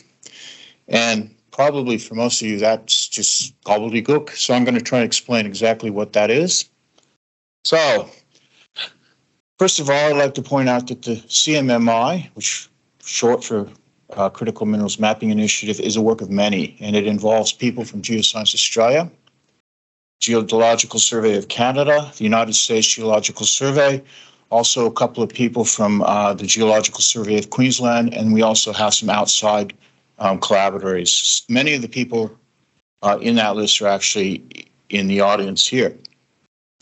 So, first question What is the Critical Minerals Mapping Initiative? Okay, in 2019, the, the USGS and Geoscience Australia began to talk about collaboration. Okay, and that actually led to um, formal agreements between the USGS uh, the uh, Geoscience Australia and the Geological Survey of Canada. And that's actually, I think, uh, six agreements between the between the organizations. There's lots of government uh, paperwork at the, at the very highest level, and basically allowed for collaborative research between the three institutions um, on problems that we see as a, uh, a, of mutual benefit. And as part of that, the GSQ has become a contributor, and particularly we would like to thank Vlad Lisitsin because he's made a, a major contribution. Okay, it started, as I said, in 2018, and we had a meeting in Denver with the USGS. Um, and it, basically, we talked about the concept of, of mineral systems. And then following that, the, the Geological Survey of Canada became involved. And so we actually had a second uh, workshop in Ottawa. And this happened in, in uh, December 2019, just before COVID hit. And then there was an interlude because of, of COVID. And then just last August, we had uh, a meeting in Canberra where the USGS and the, and the GSC came to Canberra. And we also had a field trip to Mount Isa at the same time. Now, what we're looking at are the distribution of critical minerals and ores, and also how those critical minerals got in that ores and how to find those deposit types. And so I'm going to talk a little bit about um, the science and also a little bit more about the, the background.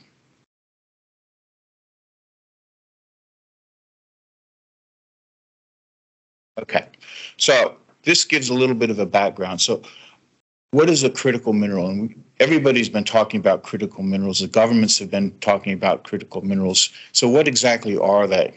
Well, first of all, they're essential to economic and technological development. Secondly, they are at risk of supply disruption because of limited source of supply and or political and economic factors. As a consequence of that, a number of countries have put together what we call critical minerals lists. And I've just shown the Canadian one because it actually um, plots up really nice with the, with the maple leaf. Um, the kangaroo doesn't work quite as well.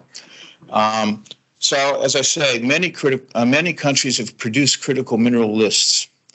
Uh, United States, Japan, Korea, EU, uh, Canada, Australia, and even China have produced critical minerals lists. Now, it's interesting when you look at these critical mineral lists because you have two viewpoints. Okay, you have the consumers of critical minerals, and that would include countries like the United States, Japan, the European Union, and then you have producers, and that would include countries like Australia and Canada. So some consume, and others like us produce critical minerals. Okay, and so we have a different perspective on on that. And as a consequence of that, we've produced an Australian critical minerals list, which is based on our, our role as a producer of critical minerals. We actually haven't looked at what a critical minerals list would be for what we consume as a, as a um, economy. And I think that's starting to happen, and you might find things like potash and phosphate actually appear on, on such a list. But we need to, to think about that. Okay, so I'm going to start to talk a little bit about, about some of the science we've been doing. And one of the first things that we did, um, and this was led by um, Al, and, and Vlad had a very large influence on that, uh, is produce a classification of deposit types. Okay, now you get a bunch of economic geologists together in a in in a room, and they talk about, and you want to talk about um, classifying ore deposits. You get so many different opinions. So what we came up with was basically something that everybody was okay with, nobody was entirely unhappy with, and so there's a lot of compromises um, in this. And so the central part of that is shown on as the green column. It actually starts at the deposit type, and you can see uh, in that list a number of um, deposit types, and these are just a small proportion of all the deposit types that we've got.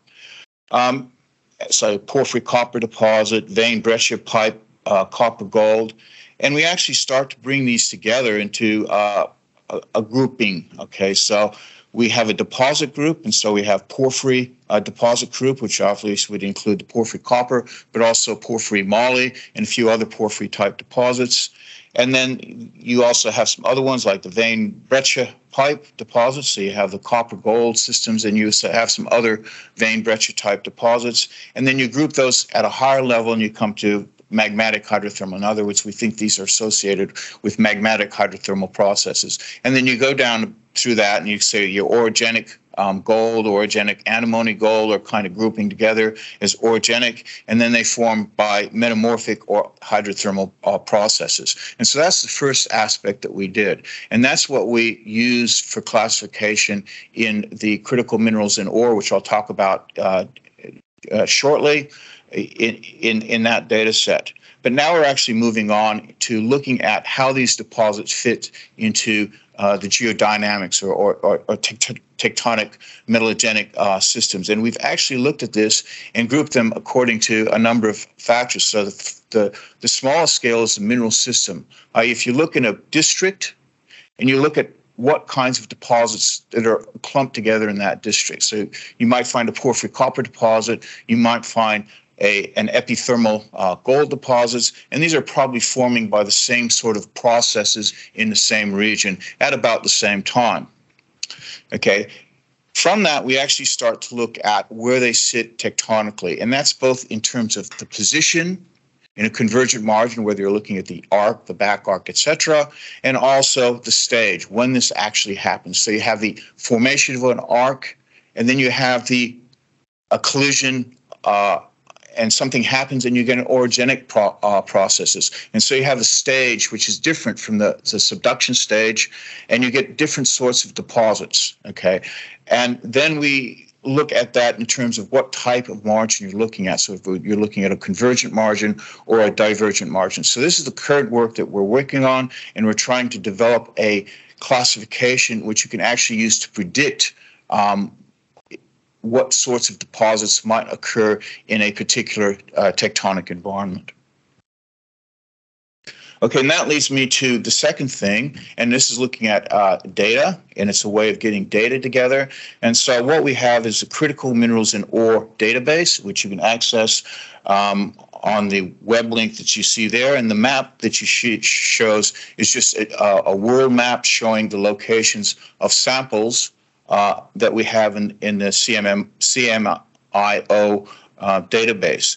The initial release was in June 2021. We have about 7,000 samples in, in the database, and it's been sourced from uh, various sources, uh, including uh, the various surveys geochemical uh, databases. As I said, it's been classified by that using that classification that we had before. Uh, the data set includes not only the analyses, but also analytical metadata associated with the analyses. And so you know what you, you can actually go to the database and you can find out not only the number, but also how that number was derived. And that's actually quite important for some elements. The next update is early 2023, and we hope to have more than double the size of, of the current database. And how can you use this database? And this is just an illustration of, of, of, of one of the particular uses. And this is developed by uh, Yevgeny uh, Bastrakov. And it just shows you uh, the characteristics in a radar type diagram, just illustrating the, the relative abundance of different elements. And this is the, the phosphorite deposits in Queensland. And it just illustrates differences between um, two of the deposits, Phosphate Hill and Ardmore. And it just shows that Ardmore is much more enriched. But the second aspect of it is you can use the database and you can combine it with uh, price data, and you can actually look at the value of each different element within that particular an, analysis. And you can actually have an indicate of what's important in terms of uh, the value. So that's one aspect. The second aspect, and we'll go to Alaska here, and we're going to go to the Pebbles Porphyry Copper Deposit. Um, and this is work by uh, George Case, who some of you probably know. Um, and it's looking at the ore shells. So you have the copper shell, and then you also have a shell showing the, di- the distribution of tellurium.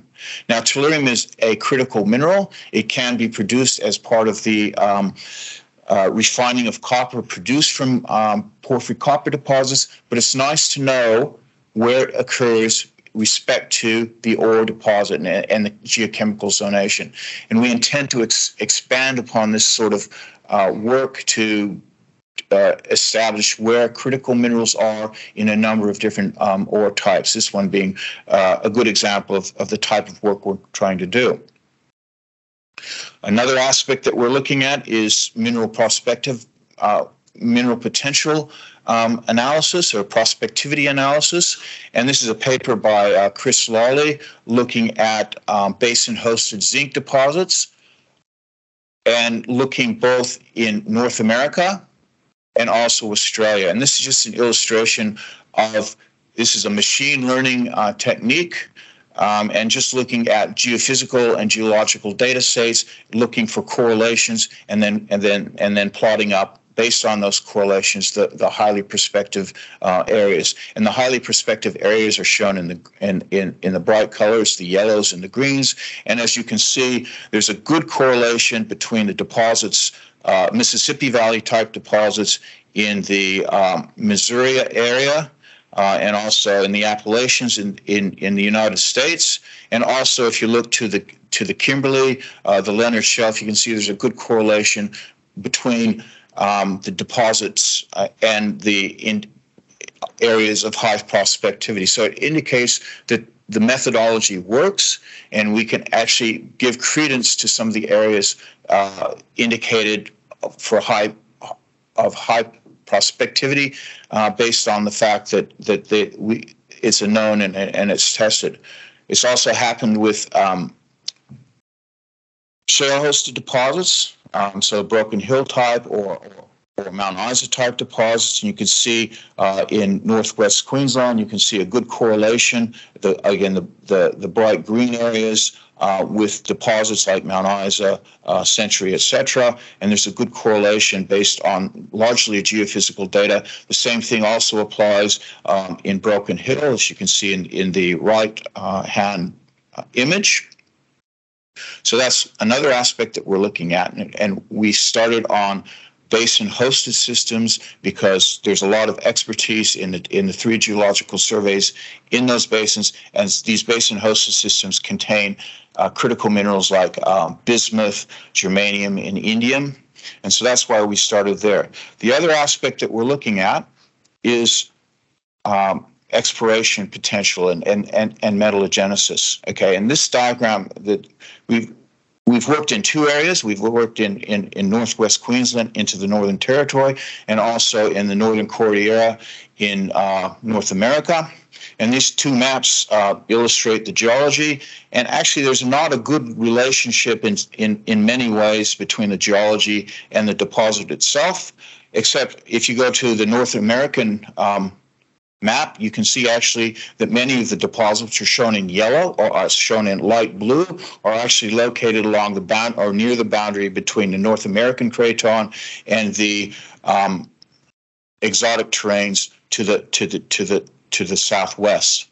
So that's the geology, and we actually started this work based on some lead isotope work, and Svetlana is going to talk about uh, that uh, in a in a couple of uh, probably an hour or so. And we actually saw, we could see the distribution of these deposits associated with great gradients in lead isotope data. So from that, we actually looked at some other data sets. And this is just one of the data sets that we looked at. And this was published um, in uh, Nature Geoscience a year ago by uh, Mark Hoggard and a whole bunch of other people. And it shows that there's a correlation between the location of the deposit shown again in blue on on on on both images and what is the uh, a particular depth of the lithospheric asthenospheric boundary okay? It's about 170 kilometers. The deposit seems to be located above that particular depth of the lithospheric asthenospheric boundary.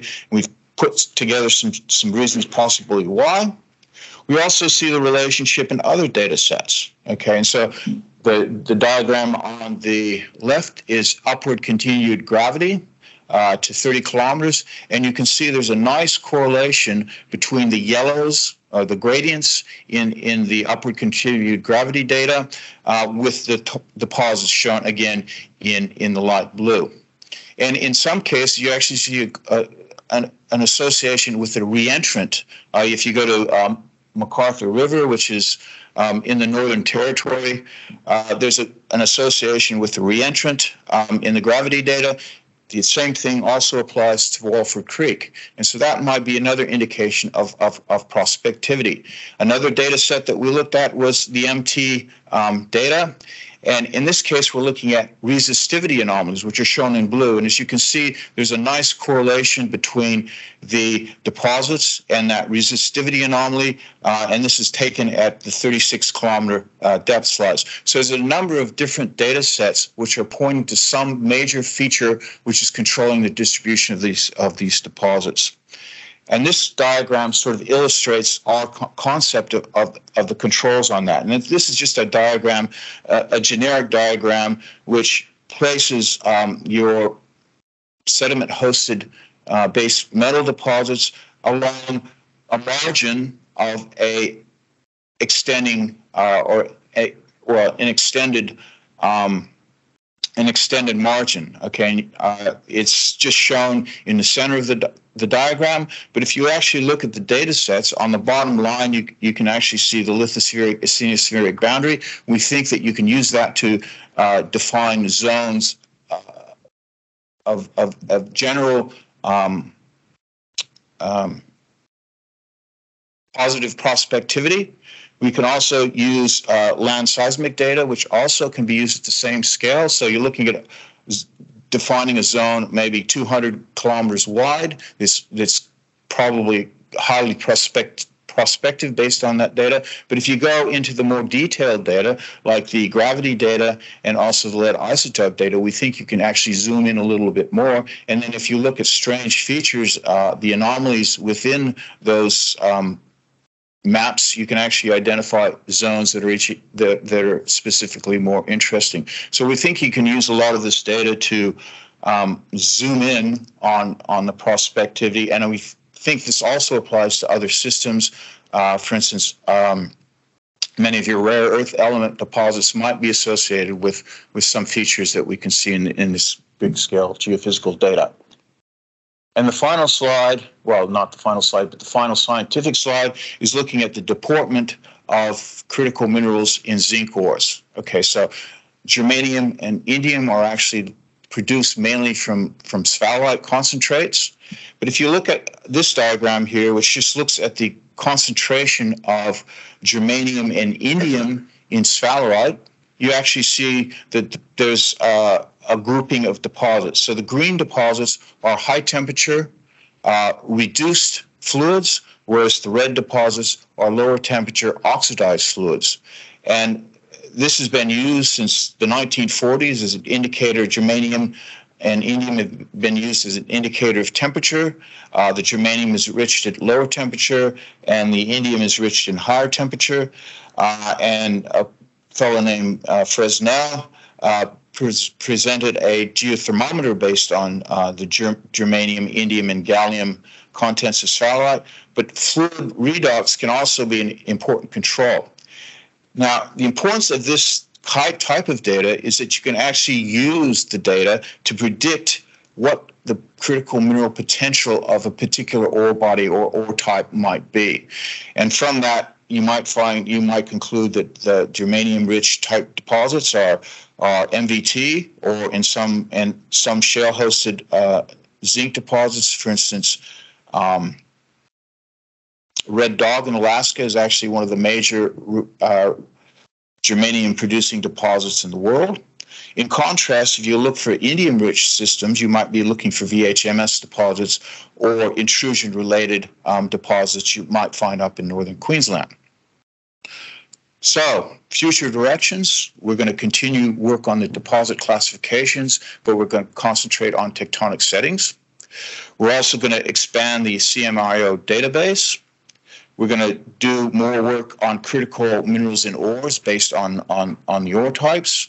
We're going to do some more work on basin hosted prospectivity, in this case, using a knowledge uh, driven approach. We're also doing some work on paleo reconstructions and metallogenesis. This is being done with works at, uh, with people at the University of Saskatchewan.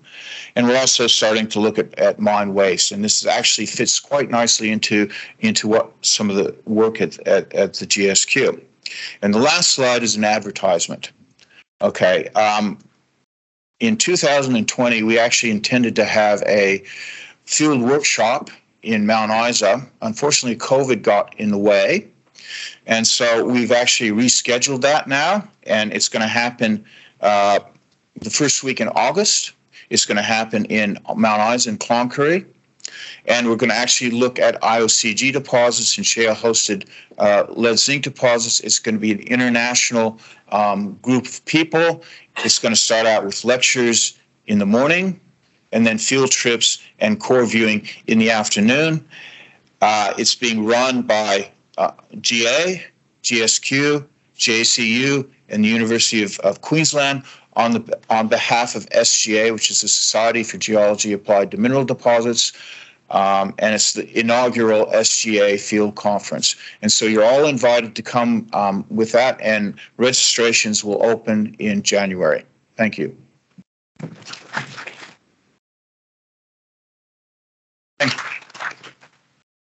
Thanks very much, David.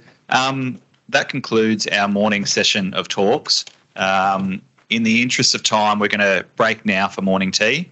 Uh, resuming back in the room, the first talk will recommence at 10.50.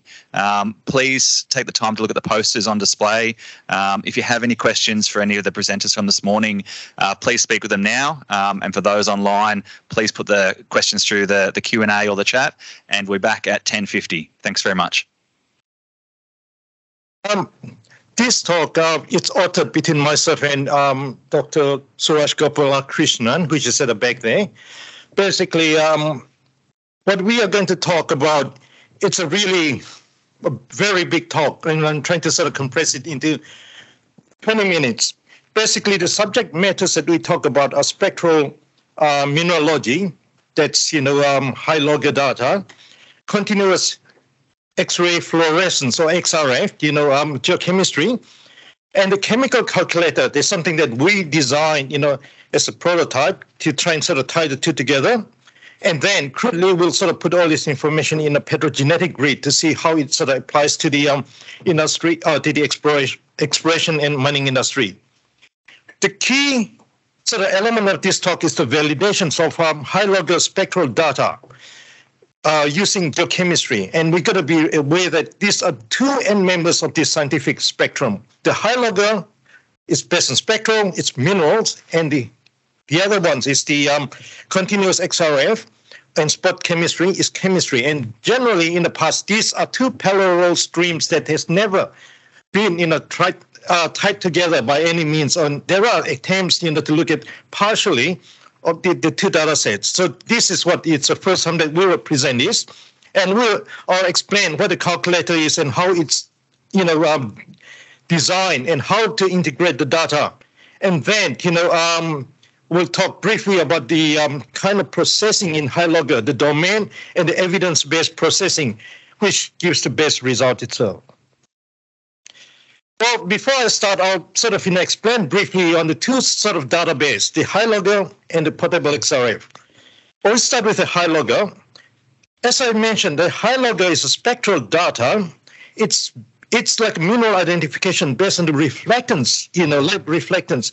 And when you talk, look at this, um, there are in this um, light spectrum, you have this near infrared the shortwave infrared and the thermal infrared range. And you know, um, what I've shown here is just an example of the shortwave infrared itself. Basically, when you shine a light onto a mineral, it reflected. And the different elements, like in the shortwave infrared, the the OH and the carbonates absorb the mineral, uh, the, the sort of spectra, and therefore the reflectance is really diagnostic of individual minerals. Well, there are two things that you know um, that's used to identify. One is the absorption in a peak or the trough at certain wavelength, and the other one is the pattern itself. Um, the wavelength, although it has a sort of unique sort of um, location, it also shifts based on solid solution or the composition of the mineral itself. And the intensity, that's the peak itself, is dependent on the um, actual abundance of the um, mineral itself. And when you talk about rocks, most rock has at least 10 minerals at one spot, you know, uh, unless it's really coarse grain. And therefore, it's a multi-mineral relic, you know, sort of composite or stacking of, you know, the different uh, signals like this. this is an example. When you have epidote, it has this signature, and the chlorite has this uh, sort of signature trough, you know. Um, but when you composite it, it gives a sort of com- combined trough like that. Imagine if you put another sort of component minerals into that mix, like, you know, uh, for example, hematite, which has a rather flat, you know, sort of a pattern with um, different trough. And if it has a high intensity or high, you know, sort of com- composition, it will produce a spectra that's very different. And therefore, what it means is this the spectral interpretation in HyLogger is limited to two clays and three silicon minerals. That's the optimum, you know. You could sort of push it further, but you know, you sort of question, you know, how accurate it is. As a result of that, HyLogger, you know, interpretation is only semi-quantitative. It's not, you know, full sprue. The next we'll talk briefly is the continuous portable um, X-ray. These are done mainly through you know, service providers, and there are two well-known ones in Australia, Minalyzer and TruScan. And I've used both companies, um, you know, um, spectra, you know, in this presentation itself. Um, in terms of um, the data itself, again, is semi-quantitative. The reason is that like hyperspectral, it's looking at the surface of the sample itself. And um, that's the one thing, it's two-dimensional, you know, sort of, you know, analysis. Secondly, it's like X, XRF, you know, it only takes in, you know, it has a sort of rough or really sort of crude um, detection limit. And also the number of elements it can analyze with confidence is generally between, you know, um, 20 to 30 elements itself, and less so, you know, for um, potable XRF. And there is this big problem of spectral overlap. What happens is this, if you get an element that's more dominant than others, it overlaps the lesser elements, and therefore, you know, you can get that confusion between those overlapping. Um, the other thing is that the quality, the quality of the sample whether it's you know altered, it's fresh, you got the dust on top, the grain size, the homogeneity, it's all affects the qual- uh, quality of the data itself. And probably one of the most critical is that you know the um, the sample and the detector sort of spacing. Although you know most modern you know sort of machine has a lidar in a sort of you know component to try and maintain them, but if you get drafts, if you get you know like you know um some other things in between, it can change, or just irregular sort of surface. It can change the sort of intensity of that, you know. Um, and it's instead of counting, you know, it's basically counting the uh, number of counts for each element instead of the actual chemistry itself. Therefore, a lot of this requires purging, either air or gas purging itself. Next, we move on to the calculator and where the calculator concept comes in. Well, basically, when you look at um, the HyLogger, will start with the HyLogger. You have a box of samples or in a core. You run through this spectral analysis itself.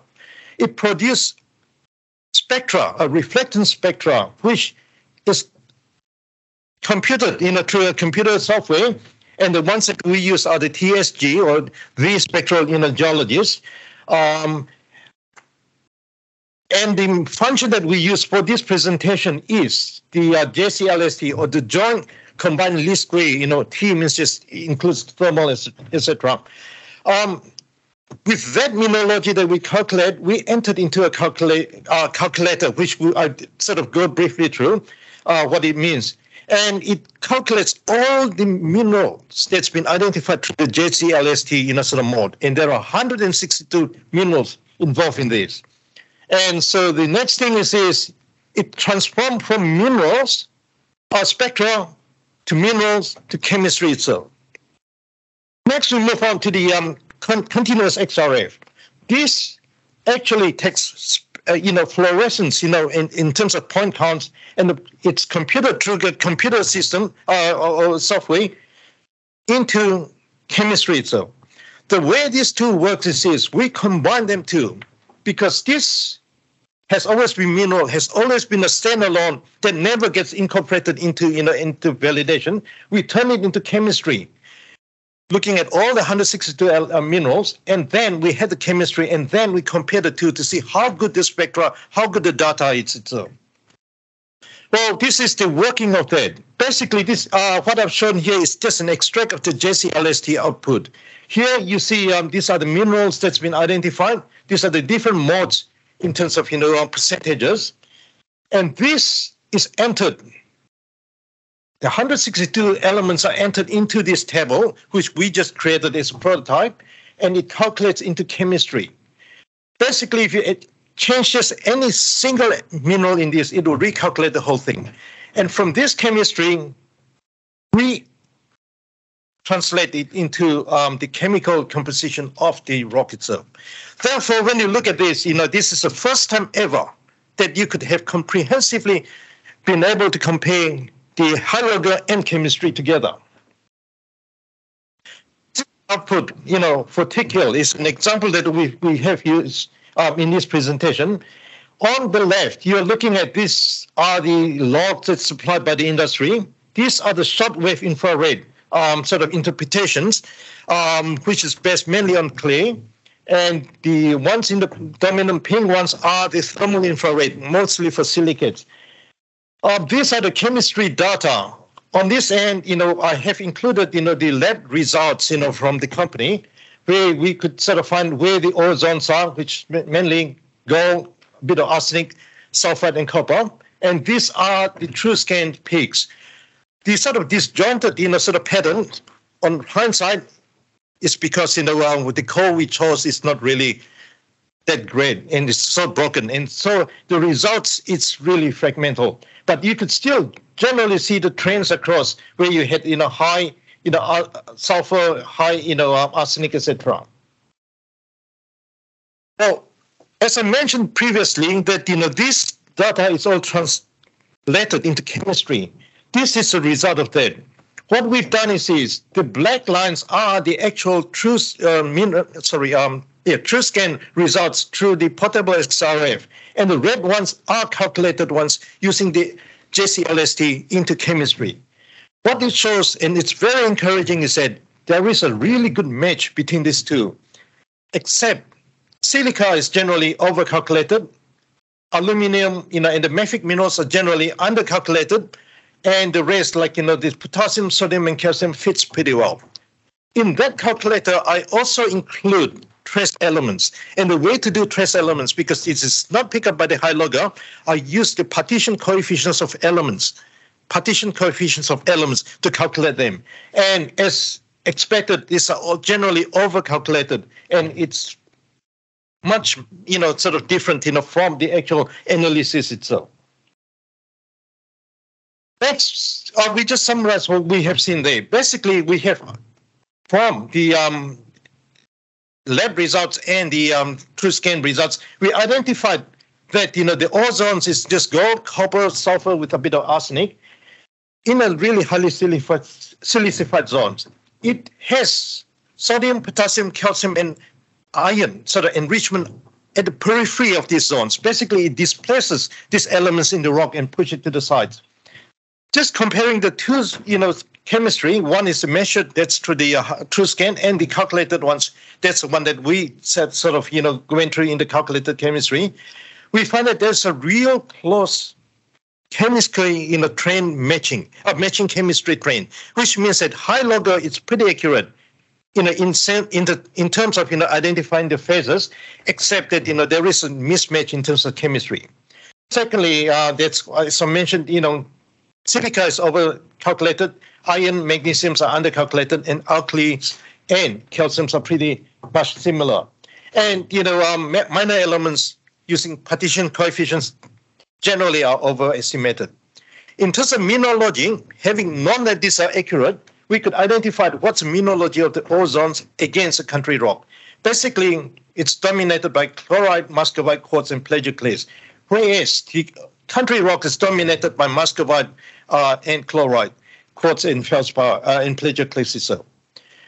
This is a petrogenetic you know, grid that I've created maybe 20 years ago for uh, the Genesis you know, um, course that I um, was involved. It's meant for magnetic system. in a porphyry system. But, you know, because I haven't got a good template, what I've done here is just to plonk, you know, that, that data in to show that between the ore zones and the country, you know, country rock, that's a country rock, which fits somewhere down here, is the ore zone fits, you know, towards up there. It means that there's a big mismatch, you know, um, this is a crude way of using this sort of data. Probably it's not really appropriate because we are looking at you know sort of you know metamorphic country rock. But this is how you could use the data with confidence if you had confident in a sort of mineralogical and chemical in a sort of identification from this sort of you know um work and then you could integrate the two together the next drill hole I'm going to sort of show is another example, which is a Merlin drill hole. And this is, again, a very simplistic um, hole with you know very sort of well defined you know ore zones. Um, again, on the um, left hand side, we have this um, drill core log from the company. We have the SWIR, that's the green dominated uh, sort of interpretations. We have the thermal infrared interpretations. And what's important here is this Suraj has managed to sort of define the domain map, which is basically pulling together all these characteristics of these reflectance into domains or regions. And it matches, if you look at these domains and the lithology, it matches pretty well. And that's really good. Um, here we show just a TruScan you know, um, results here. And you could identify almost immediately the ore zones with moly, barium, sulfur, plus or minus a bit of you know uranium enrichment in that region. Um, so that's the direct output. When we merge these two output, again, the black lines are the portable XRF that you know directly from measured in a sort of um, chemistry, and the reds are the calculated ones. Again, it's really encouraging encouraging to see that there's a good match in between the two. Silica is overcalculated. Aluminium, you know, it's sort of you know varies, you know, and it's really erratic in the ore zones. Sodium, potassium, calcium matches pretty well, and the iron, magnesium, again, it's undercalculated. Um, and again, the trace elements, you know, it's sort of very variable. It's sort of, you know, um, it's overcalculated in some cases, and some matches pretty well. Just to summarize, you know, the ore from that, you know, Merlin, it's basically moly, barium, strontium, you know, in a sort of complex zones with alkalis enrichment. Iron, you know, um, calcium, magnesium, rubidium, strontium are slightly enriched on the periphery of that zones.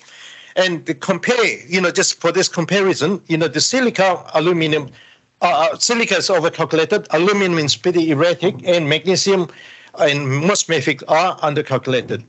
And um, the minor elements, as I mentioned, you know, it's generally overcalculated. In terms of mineralogy, with confidence now we could say that, you know, um, there are dominated, you know, the ore zones is dominated by carbonates, muscovite, chlorite, and K feldspar plus quartz. And the country rock is mainly chlorite, montmorillonite, carbonates, etc. Um, there's one thing that we have to point out is this. In all these computations, the uh, spectral, which is things that they can't identify, do compromise the quality of the result itself. And again, this is a crude way of you know representing these results. You know, and again, this is not you know it's a magmatic in a sort of petrogenetic grid. You could see a big difference between the ore and the um, the um, country rock zones itself. And um, next, we move on to um, just a brief words about different processing methods. Well, the data that you see from the HyLogger could be interpreted or uh, could be processed differently. There's two ways that we have tried. One is just the software sort of calculation using the JCLST calculation, and the other one it's using the quartz reference in a sort of calculation. And you could see that based on the two different sort of you know um, processing, there is a big mismatch you know um, in the quartz, and basically the reference interpretation is much more accurate. Because this is just quartz, it means that you know you get more less quartz and it bumps up all the other elements. It's not a surprise. What I've shown here is this. On the right hand side is that you know you could work with this data by looking at you know elements or ratios that doesn't include you know uh, silica in this case. So like aluminous or the alkaline you know sort of index, which doesn't use alumina um, that at all. And the other thing that we know that you know the um, those kinds of indices are pretty reliable because it's not affected by the um, sort of you know um, mineral species that we sort of excluded. You could compare the black lines are the ones that's actually analyzed, and the red lines are the ones that that's calculated. And you could see there's quite a big difference between the um, indices between the calculated and the measured ones. It's things like this that you could sort of pinpoint areas that has a big difference, like in this region, that needs to be further looked at. In terms of you know the um, interpretation, HyLogger interpretation itself. To conclude, HyLogger and portable XRF are high value database itself. There are used to be two different data sets, and this is the first time that we could cross validate these two data using a methodology. And integrating these kind of you know interpretations is really important because it gives you confidence to know that the data that you look at aren't real and then to sort of move forward with exploration or in, in exploration uh, regime we said you know that these are real but you have to sort of cross validate it with further uh, observations like petrography drill hole log as i did before and this would definitely help you with you know successes in exploration. Thank you. That's great. Thanks very much, Joe. We've got time for one quick question. If we do have any one in the back corner, I'll just get over there. Get him. Yeah, yeah Mike.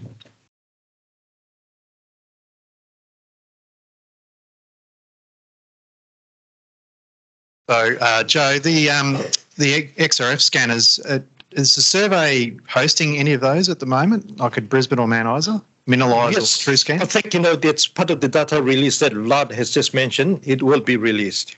No, I mean uh, in terms of the those those actual instruments. The no, we don't have that instrument. We are con- uh, we've done this through contractors. Okay, no yeah. worries.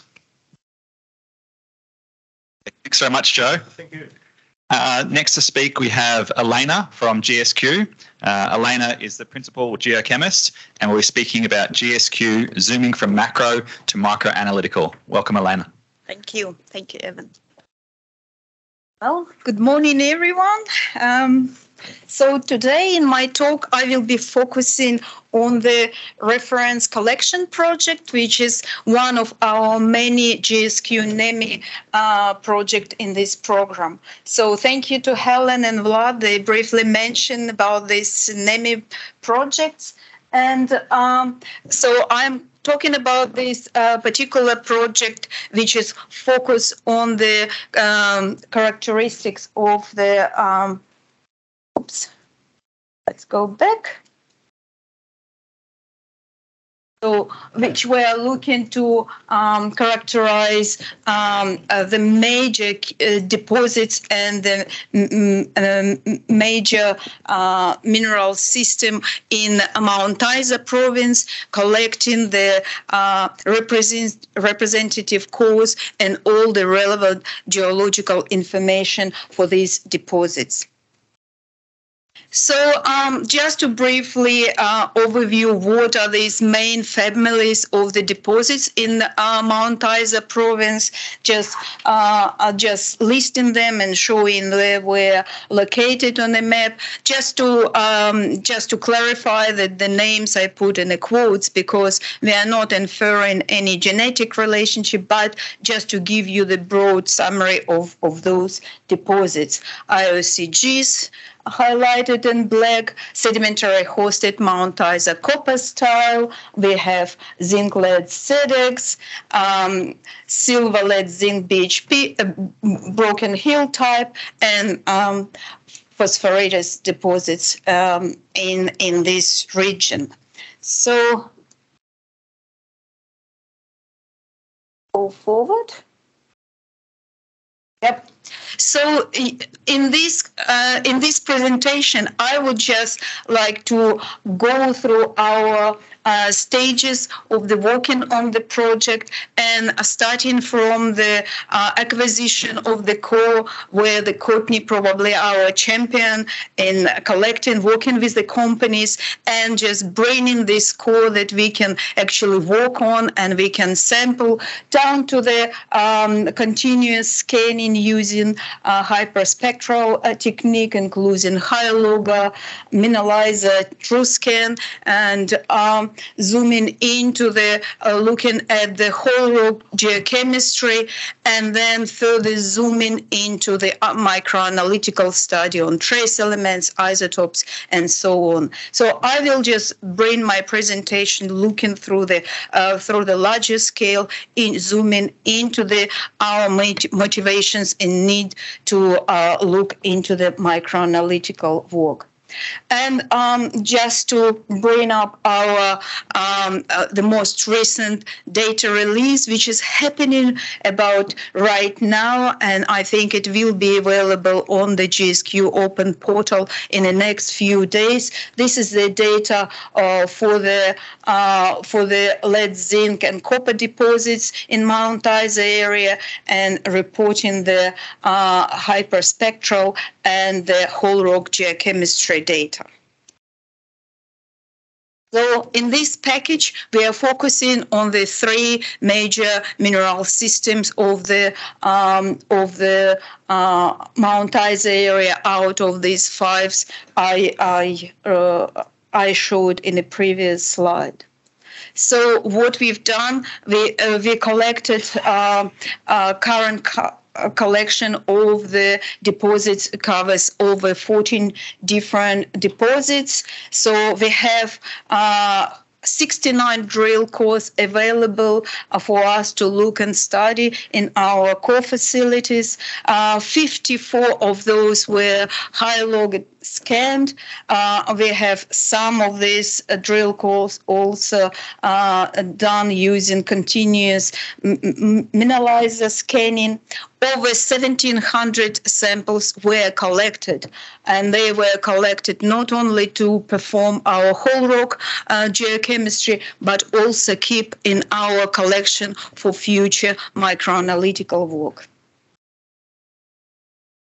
Well, um, if you, uh, in a few days when the um, our technical notes will be available, you will see we have a table where we list all these deposits we are look at uh, with the relevant information on drill cores and what the analytical work was done on individual drill cores and number of the samples and so on.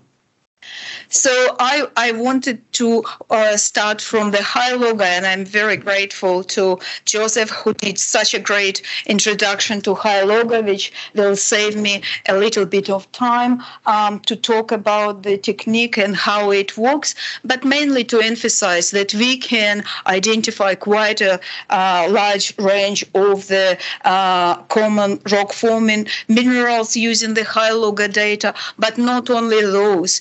It's capable to identify some rare, relatively rare and accessory minerals, such as, uh, for example, tourmaline or apatite, which is very useful. And also, um, at the same time, uh, we collect uh, we collect high resolution uh, digital photographs of scan ore, which is very useful, particularly if some of this core is gone back to the industry or was used for the um, uh, whole rock analysis and so on, so on. Well, and this is just example of these summary plots where we're using the HyLogger. And because this is, was my first time using the HyLogger data uh, since I joined the GSQ team only a year ago, I can't emphasize enough of usefulness of this information when you're doing the sampling of the of the core. Because uh, having uh, all these uh, very distinct intervals with the distinct mineral uh, composition, you can easily identify the lithological boundaries. So there is much less chance to uh, not sample some important intervals. But also um, it's very important in terms of identifying some zone of alterations. And in some mineralization uh, systems, it's very critical to identify these areas. For example, here I highlighted the area where the, have the albite and K-feldspar alterations. So if if your first time and you're looking all at the uh, drill core trace, so try to ask yourself the question: which out of these two uh, drill core trays would represent the um, alteration? Which one is albite? Which one is K-feldspar? Or any? So if I put this uh, tray cores in the uh, in the same drill core uh, summary diagram, you can see this one is representing this albite alteration uh, interval. It's just in the middle of it. And the next one, which you I would probably easily miss without having the HyLogger data. This is this is K feldspar alteration. So, and it could be very important when these zones are um, it uh, you know critical to uh, make sure we sample them and we notice them. But they're relatively short intervals easy to miss. Or in areas where for example in this pigment uh, uh, drill core, we can see the interval, which is relatively narrow. But look, they dominated by these uh, relatively rare minerals. It's a garnets, garnets there, uh, and there um, uh, and there are some apatites in a good amount. But look at the at the images of the core how easy it is to miss this interval. And this is critical when we're thinking about sampling for microanalytical um, work, where the, these minerals are very important when we're thinking about future um, isotopic study, uh, trace element works, uranium lead dating. It's, it's something I really enjoy to work and um, just to see this possibility not to miss these important intervals. So our sampling flow in this sense, we heavily rely on this uh, HyLogger data for our sampling, but also very useful to have uh, the industry reports where we have a hints on some anomaly and some useful data. But also we try to do our our sampling consistent in terms of spacing, uh, depending what we're dealing with the mineralization interval alteration or when we sampling just uniform host rocks. And also we take in comparable uh, weight of samples and uh, length and uh, make sure we have su- sufficient sets of sample for future microanalytical work. So this is the sampling I'm talking in terms of, of our whole rock geochemical work. So if you if we go uh, and talk about this whole rock geochemistry as our next step, so we are, are looking at the two sets of the analytical um, methods we're using. So the one is which commonly used in the industry, relatively short, um, the uh, uh, short standard set, and also we're using more extended comprehensive more comprehensive uh, list which extend the number of elements up to 67 elements and we do it uh, with uh, thinking that we have to cover these critical elements or critical metals, where how we call them. So some of them are more challenging in terms of their um, amounts and in terms of their analytical procedure to get the uh, precise um, information on them. So now I just uh, would like to show you a couple of diagrams which show the um, uh, geochemical signatures of the studied um, zinc, lead, silver, and copper deposits. So they uh, on this diagram they highlighted in the different colors. But also I want to emphasize so this uh, diagram presents only the uh, the samples which which significant uh, um, ore component, you can see the cutoff of uh, copper, lead, zinc over 1,000 ppm, cobalt, molybdenum, and silver um, in the, uh, the relevant ppm levels.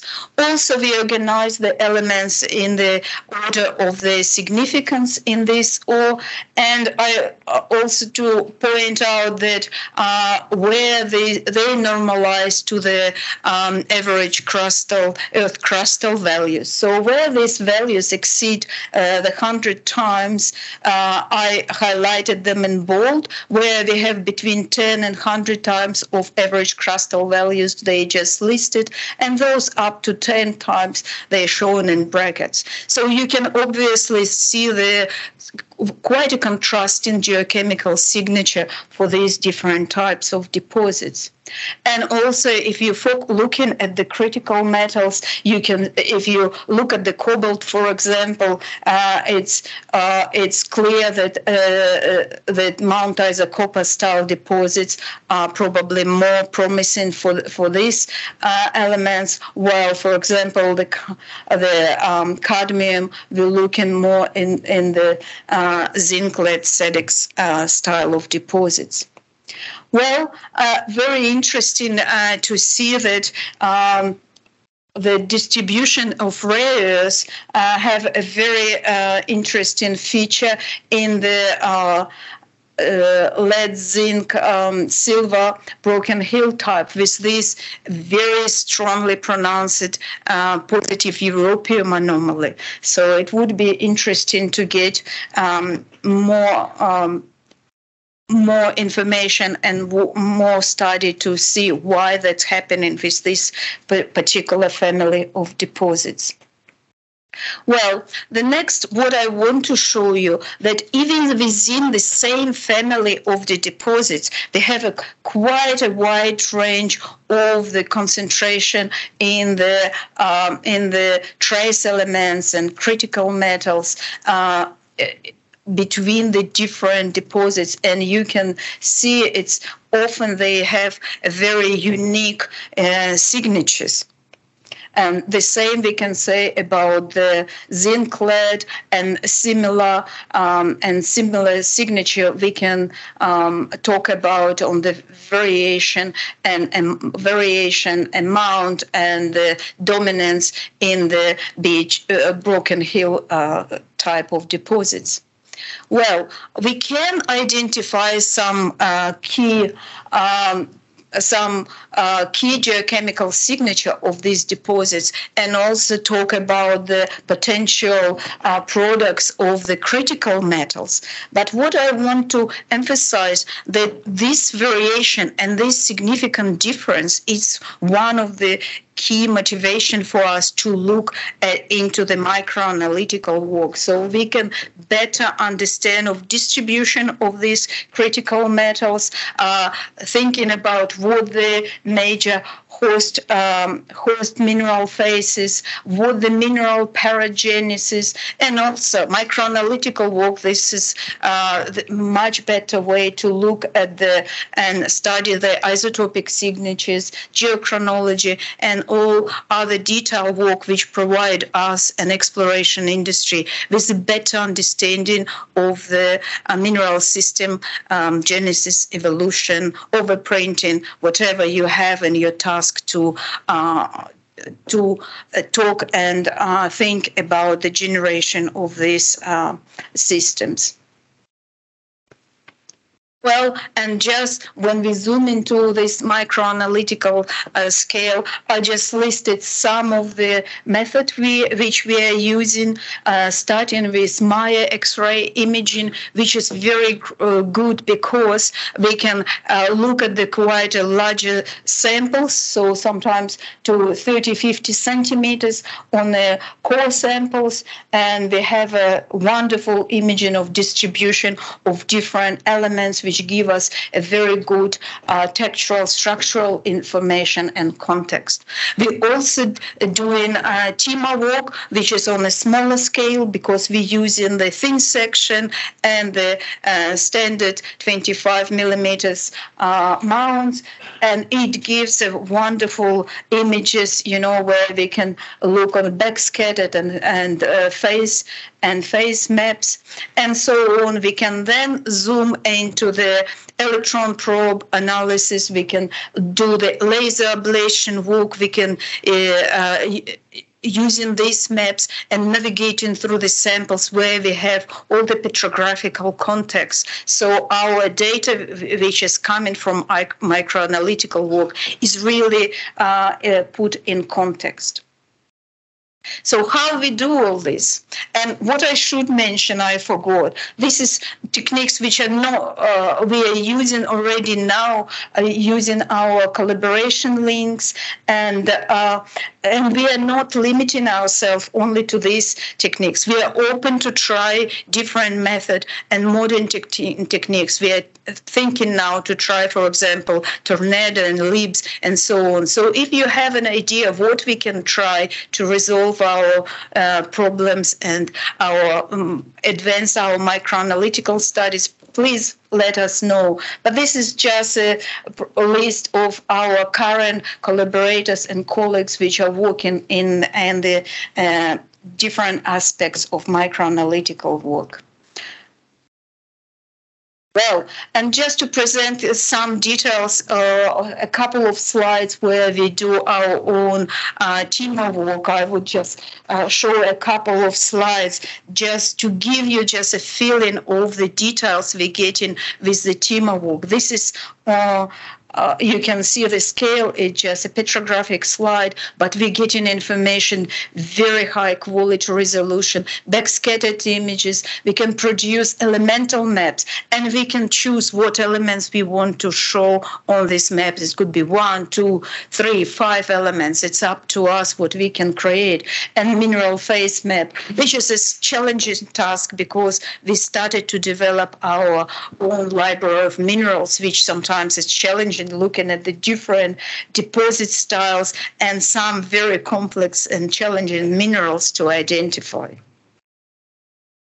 This is another example where we, we're using just standard uh, um, mount with 25 millimeters mount, but you can see what detail we have. For example, here we have uh, pyrite, which is probably replacing the former uh, tourmaline uh, vein. And this is actually the sample which is taken from this pegmatite core, which I showed in the very beginning, where this narrow interval where we have this, uh, uh, we have the area or where they have uh, apatite and uh, um, and also we have uh, we have um, some garnets. Actually, it's this one from this particular interval. And you can see in green, this is phosphorus distribution. In blue, this is our apatite. And red here is our um, garnets. Well, I think um, this is the summary diagram just to uh, summarize aspect of our work from coming from the macro to micro scale. And I think I should thank you for your attention and I'm open for questions now or during lunch break. That was great. Thanks so much, Elena. Time for one quick question. Is if there's a question from the floor or a question online, we take one. No? Three. Thank you again. Next up, we have Patrice de Caritat, uh, who will be presenting the Heavy Mineral Map of Australia project, second partial data release, the Barkly, Isa, Georgetown region. region. Welcome. Seven. All right, so thank you very much. Uh, welcome and good morning. Uh, so yes, I will present uh, to you the latest results of our Heavy Mineral Map of Australia project, HMMA. Um, and I will uh, talk about uh, why we look at heavy minerals, uh, what the project consists of, uh, the big region, which is Barkly Isa Georgetown, which is the release that we are releasing today. and some conclusions and acknowledgements. It was a COVID project, lots of meeting online. Uh, so why heavy minerals? Well, we define heavy minerals as those that have a specific gravity greater than 2.9. They're commonly, but not always, resistant to mechanical and chemical weathering. Uh, as a result, they can survive quite long in the weathering transport deposition cycle, and they can also be diagnostic of certain geological environments. Uh, using heavy minerals is a well-established exploration method in many countries in, in, around the world, but we feel it's underutilized in Australia. Here are some nice images on the right. Um, and they have been used uh, elsewhere for exploration for gold, diamonds, uh, mineral sands, nickel, copper, etc. The list goes on of the commodities that it's been used for. Here's an example from Canada where we have a, a heavy mineral footprint uh, dispersion pattern from uh, the ice transport. And so there are, we know, we are aware, we're all aware in this room that there are industry-owned uh, uh, heavy mineral data sets in Australia, but there, there are very few large-scale, uh, pre-competitive, publicly available uh, heavy minerals, and we hope that this project will remediate that uh, lack. So how were, were we able to do this project in two years? Uh, essentially, we combined the opportunity of having a well-established method that hasn't been used here with the fact that we had a sample archive in-house at Geoscience Australia from the National Geochemical Survey of Australia, NGSA, I'll use as an acronym, which sampled 81% of Australia uh, in collaboration with all the state geological surveys. Essentially, we defined large catchments, about 5,000 square kilometers around, uh, over the whole of the country, and we took one sample at the bottom of that catchment, both top and bottom, and we uh, the idea was that, that that's a good place to have an average of the most important rocks and soils that are weathered and transported in each catchment. And for this uh, HMMA project, we used the bottom uh, sample, so which comes from a depth on average from 60 to 80 centimeters depth below the surface, and we used a greater than 75 micron fraction to uh, eliminate or minimize the amount of aeolian stuff in it. The methods consisted of taking a bulk sample that we had uh, prepared in the, in the workflow of the NGSA for mineral analysis, and so we labeled them XRD. We didn't know that we are going to do a heavy mineral sample on that. Uh, we are also doing XRD, by the way, but that's another project. From that bulk sample, we then separate the 75 to 430 micron grain size fraction. We use uh, dense liquids to separate the heavy minerals, and we combine the liquid nitrogen uh, innovation to uh, accelerate the uh, the separation without loss of heavy minerals, uh, which has been very very important in being able to make this project come to fruition so quickly. we then mount the heavy mineral concentrate HMC on a 25 millimeter epoxy puck or mount, which also contains a reference frame. So there is a laser here. It contains a square uh, reference frame, so basically a, a, 3D printed frame that will allow uh, future return to certain grains for uh, mineral analysis of uh, you know microanalysis that could be done. And on the reverse of that frame, we also have a QR code and a sample label number. If you if you put that QR code on your phone, you can find metadata about the sample, including a map of where it's from. Mm. We then use the TIMA that was introduced in the previous talk and we compare the uh, energy dispersive spectra with a library and we customize the library. We have heavily customized the library to uh, our conditions, the Australian conditions, and those particular heavy mineral assemblages. And we, we analyze tens of thousands of uh, grains per mount. And here's an example of a uh, mineral map or panorama from the TIMA for the whole uh, puck. So that's 25 millimeter diameter, this distance there. Okay, so uh, here's uh, one of those QR codes at the back of the sample, and here's the kind of metadata that you get when you point your phone at it. Here's an ima image of the TIMA, and again, another mineral mineralogical panorama that results from it. So before we embarked on the full HMMA full scale with uh, more than 1,300 samples, we did a small pilot project just to see if the samples were appropriate for this kind of study. And we did a pilot project on 10 NGSA samples that came from a diverse diversity of regions and geological environments across Australia. And we just wanted to confirm that, yes, There is a rich diversity of uh, heavy minerals, so there is a rich ecosystem, if you like, uh, and the the assemblages tend to uh, seem to be uh, appropriate for the geological environments that we were in. There were some correlations between, for example, the geochemistry, uh, zirconium, and the, number, the, the zircon counts. There was associations, for example, of tin minerals, tin sulfides, etc., where we knew that there was tin granites in the catchments, etc., etc. And we also, during this pilot phase, developed a mineral network analysis tool, which I'll talk about um, at the end of the talk. And so this pilot project was published in Minerals earlier this year. So progress to date, uh, we started in 2021. It will conclude in 2023. Uh, we are collaborating with the uh, John de Laeter Center at Curtin University, and we have now processed all 13, 15 samples from the NGSA. So that in, entails mineral separation, mounting, polishing, TIMA analysis, and the only thing that's not completely finished now is the QA/QC. We are about 80% through. We have identified more than 160 heavy minerals or minerals in, in general in this uh, process. We had a first partial data release for the DCDs, that's a uh, Darling Curnamona Delamerian region that was done at uh, a, a meeting in July. And today we are presenting the second partial release for the big region, so the Barkly, uh, Isa, Georgetown region. I'm sorry, I'm pointing at one screen, but that, that one is much harder to aim for.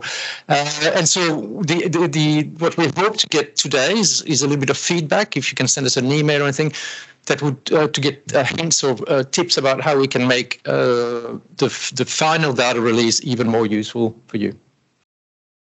Uh, it's a little bit about big.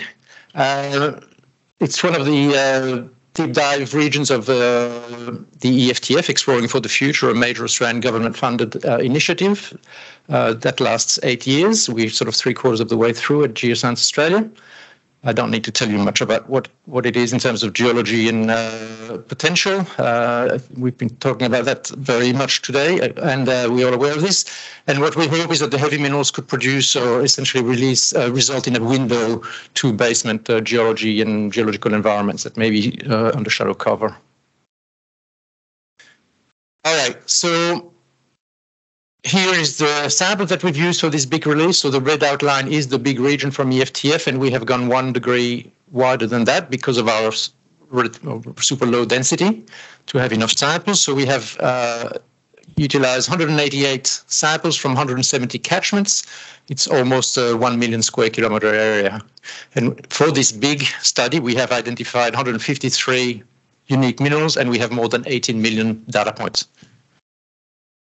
So we can produce maps of heavy mineral distribution, but you know that that's that's tedious, 160 maps. Um, so we, we really needed a, a, new tool to be able to deal with 18 million data points for this sub area. What about when we're going to release the full national scale data set? So uh, Evgeny Bastrakov uh, uh, delved into uh, the, the, the, development of a mineral network analysis tool that I'll talk about in a minute.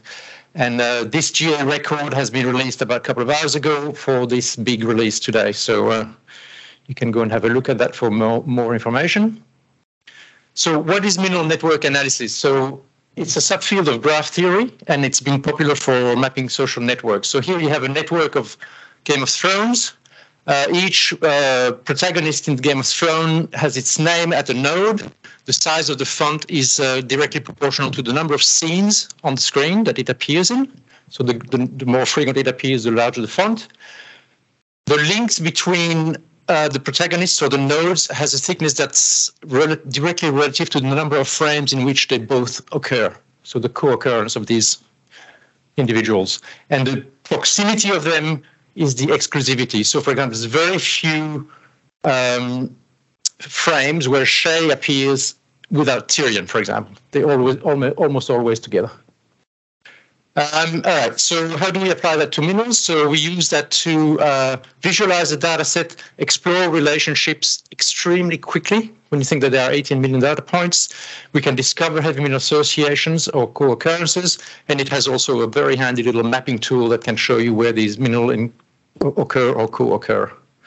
And here is a link uh, to the uh, the heavy mineral tool. I'll show you a QR code at the end. I didn't want to show it now because you wouldn't be listening to me anymore. Uh, but uh, basically, I'll run you through what it, what it can do. So when you uh, start the MNA tool, you click, click, on that link that I showed on the previous slide. This is the, um, the, the default screen that you get. So you can see that you have an area here that's has the big and the DCD. So that's big and that's DCD down here. And the zinc element is also shown by default. Uh, otherwise, you get uh, a really big network. So what we're going to do is, for example, uh, first of all, deselect DCD because to talk about big today. This is the release for big. Uh, and you can see here the network of the zinc uh, minerals. So there's gahnite, zinc-chromite, ferrohögbomite, etc. The color of these nodes is the mineral class, so oxides uh, uh in um, yellow, um, uh, alloys in green, etc. And the distance between the, the nodes and the size of the nodes is exactly as I showed in the example before. So uh, you can also modify the map so you can uh, have the default uh, on uh, OpenStreetMap uh, layout. You can also put a topographic map. You can show the geological regions, different size catchments, and you can show deposits. You're going to just show the geological regions. That's what you get. If we now remove zinc, for example, to see all the relationships, you're going to see how this network becomes all of a sudden incomprehensible, unfathomable right? So that's when you look at all the data sets. So it's, it's you really need something to drill through, to filter through uh, the data. So we'll look, for example, at copper minerals. So you get you get this network. Notice that the map doesn't change until you do some other things that I'll talk about in a minute. And what you do is you can hover your mouse over a mineral and you can see the name, the formula, and the number of samples in which it occurs, in this case 60. Also a link to mindat.org to have all the metadata that you would dream of about uh, chalcopyrite. And you look at bornite, uh, here you go, there are 17 samples with bornite in them. And you hover over the middle of the, over the link and you get a little nine that comes up. That means there are nine samples where they both occur. We can now show the map of chalcopyrite in the big area. We can add the number of observations per sample. So very, this is very, very quick. We can add bornite, and it appears as a pie diagram with bornite and chalcopyrite. And if you want to show a polar area diagram, you click on that area down there, you select from there. And if you want to show only the seven where they're co-occurring, you click on that box, and here are the co-occurring samples, or the, co the samples where chalcopyrite and bornite co-occur. You can look at some other uh, elements and minerals. So, for example, if we look at if we select tantalum, we get tantalite and struverite, which are the only two minerals that have that we have in the region, tantalum minerals in the region. And this is the map for distribution of tantalite. So from up to well, zero or one grain and up to nine uh, observations in a sample up there in, in the York Peninsula, the Cape York. Um, and this is now struverite. This is one sample with struverite. All right, and if we change that, for example, we look at cassiterite, you get this map here. So that is very, very exciting. One sample there has 300 observations of cassiterite. Not sure what that means, but um, certainly it would be very, very interesting to have to go and have a look over there and have a closer look at that sample as well. Okay, so now we're going to do, um, look at cassiterite and tantalite, and there are only four samples where uh, cassiterite and tantalite occur. So the idea is to look at the tin tungsten uh, associations, tin tungsten tantalum. Um, and you can see that the four samples where they co-occur are one here, one here, one here, and one up here. So along the Carpentaria coast pretty much. So remember, remembering that these are catchment outlet sediments, it means that the catchments upstream of these four sites uh, could potentially be useful to have a look at. Okay, so now let's uh, look at tungsten, again in the same frame of mind. Wolframite and scheelite are the minerals that we have. Um, and okay, I had also added here the mineral deposits. So that's all the mineral deposits are these red circles. And what I wanted to show next is that you can filter them uh, to only show the greisens and the skarns. And these are those uh, fewer, many fewer sample uh, deposits shown here. And for example, you can also hover on that and you get some more information about uh, the deposit. Um, okay, so if you look at, so we've only been using the network and map tab so far. If you look at the data tab, you get the data file uh, for the big area. And uh, you can download it, but bottom right, there's a download button there to download that data set. Um, and op in options, you can uh, do several things. You can change the layout of the network, and you can also filter the deposit types uh, according to this uh, CMMI uh, classification that uh, David Huston just talked about. So there are four levels of filtering uh, cascading through. Um, and in the About tab, you have some general information about the tool and the data sets. All right, so what have been the impacts to date?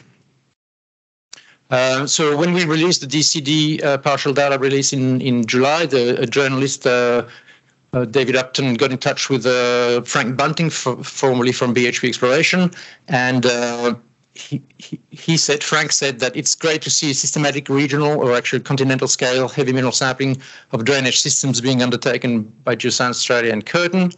The database of heavy minerals identified uh, by GA and any follow-up work could indeed hold hints of mineralization uh, as yet unrecognized, especially under shallow cover.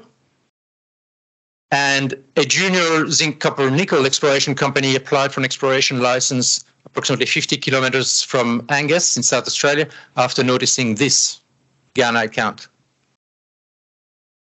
And they, and they were a little bit surprised that the ground hadn't been taken up yet because, in fact, it was about a month after the release and they thought everybody would have jumped on it they were very happy, very happy to be able to uh, apply for it. Okay, so uh, while I read the conclusions, this is a teaser of where we were at six months ago. I haven't updated it yet, but for cassiterite map, map of Australia. So the, the blue dots are the sample that hadn't been analyzed yet. The little pluses are no observations, and then from green to yellow, an increasing number of cassiterite observations. Uh, this is just a little little teaser. Um, so the heavy mineral map of Australia uh, combines a national sample archive that was in our in our warehouse with a mature exploration strategy that is uh, unfortunately not uh, probably under probably underused in Australia, and state-of-the-art analytical automated mineralogy techniques. Um, it's underpinned by a pilot project that demonstrated uh, the suitability of the materials and fine-tuned methodology.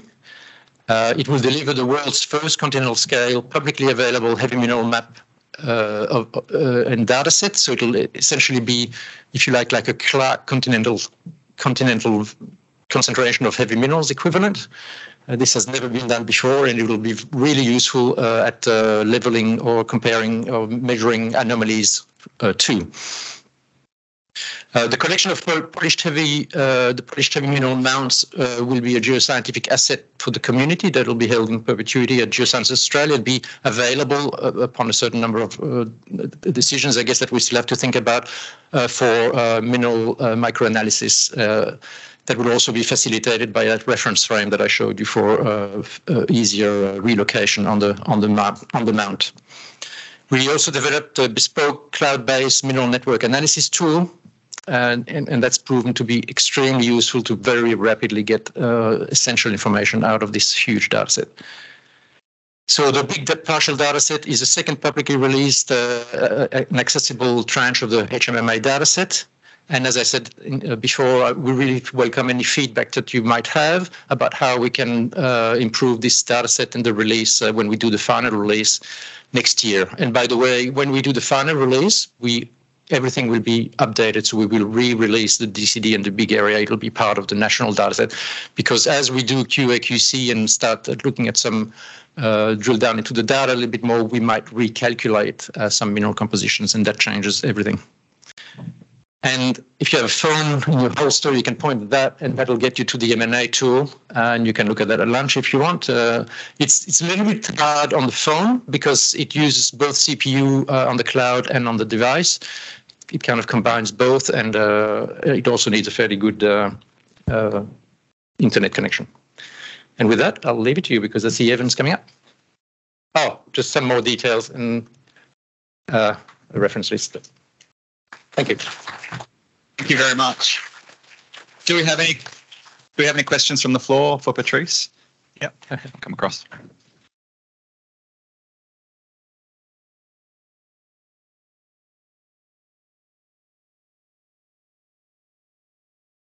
Hey, Patrice, that's a great data set. Uh, I was wondering around what you saw in terms of field duplicates for those samples. How reproducible were the minerals, depending?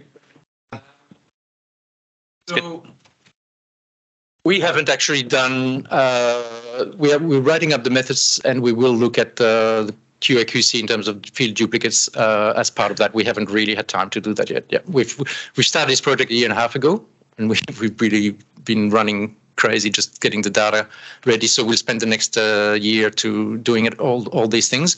I think um, realistically would have to be um, thinking about how observations are necessarily comparable. We may have to go back to weight over volume percent uh, concentration values, which we can because we did record a yield factor, which is a what the mass of the heavy mineral extract is compared to the mass of the original uh, size fraction.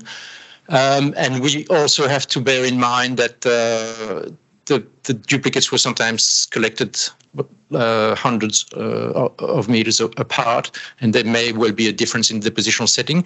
I think we'd be happy with observation, with observation and non-observation matching a non-observation. That'd be already a very good test. Now, if you observe three grains in one of the duplicates and six in the other, I'd, I'd, I'd be happy with that. Uh, but if it's three and 300, sort of think that maybe one of them was not taking the right environment. Uh, but having said that, we've done, of course, all the field duplicate uh, checks on the geochemistry. Uh, and that's been documented in data quality of the NGSA data quality report. And, uh, you know, it's it's documented, it's there, it's, you know, it, it is what it is. Yeah. That's great. Thank you very much. Um, perhaps if you want to keep that conversation going at lunch, um, yep. be a great opportunity. Thank you. I'd now like to welcome up onto the stage Dee Zivak, uh, who's a postdoctoral researcher from the School of Physical Sciences, University of Adelaide. Dee will be talking on neodymium isotopic evidence for the origin of rare earth enrichment in the Georgina Basin phosphorites. Welcome, Dee. Thanks, everyone. Um, thank you for inviting me to speak today. It's been uh, really great and really quite interesting. Um, first of all, I'd like to um, begin by thanking the um, GSQ for funding this project. So this project was started um, probably beginning of last year, even before, um, looking at the potential of the phosphorites in the Georgina Basin as a rare earth element source. And for that, um, I'd like to thank Matthew Valetich, who used to be with GSQ, now is with Anglo American, and, and Helen as well, who initiated this project. And I sort of took over at, at the beginning um, to try and determine the origin. Um, I also would like to um, I like to begin my talks by acknowledging the traditional owners, and um, in this case, on the Brisbane lands here, we, um, I would like to acknowledge the, uh, the Yagara and uh, Turrbal people. I apologise if I mispronounce things, who are the traditional uh, traditional custodians of the land on which we meet today. And I wish to pay my respects to their elders past and present. And I, I do extend that um, respect to Aboriginal and Torres Strait Islander people here today. But I also would like to acknowledge the Kaurna people who are the traditional owners of the land on which I work in Adelaide. So, um, yeah. Um, first of all, why, why are we really interested in the rare earth elements? Um, so, at the moment, Australia is the fourth largest producer of rare earths, and they're used in a variety of new um, technologies that are basically necessary for the transition to net zero. Uh, the the ambitious plan of getting the, this to a um, net zero carbon by 2050 by the Australian government means that the prices um, of the rare earths are skyrocketing, and um, because they're used mainly in the technologies such as magnets that are used in wind farms and, and so on, and catalysts and polishing and things like that. So, um, although we produce quite a bit of rare earths, um, the supply chains are a bit different in terms of downstream processing.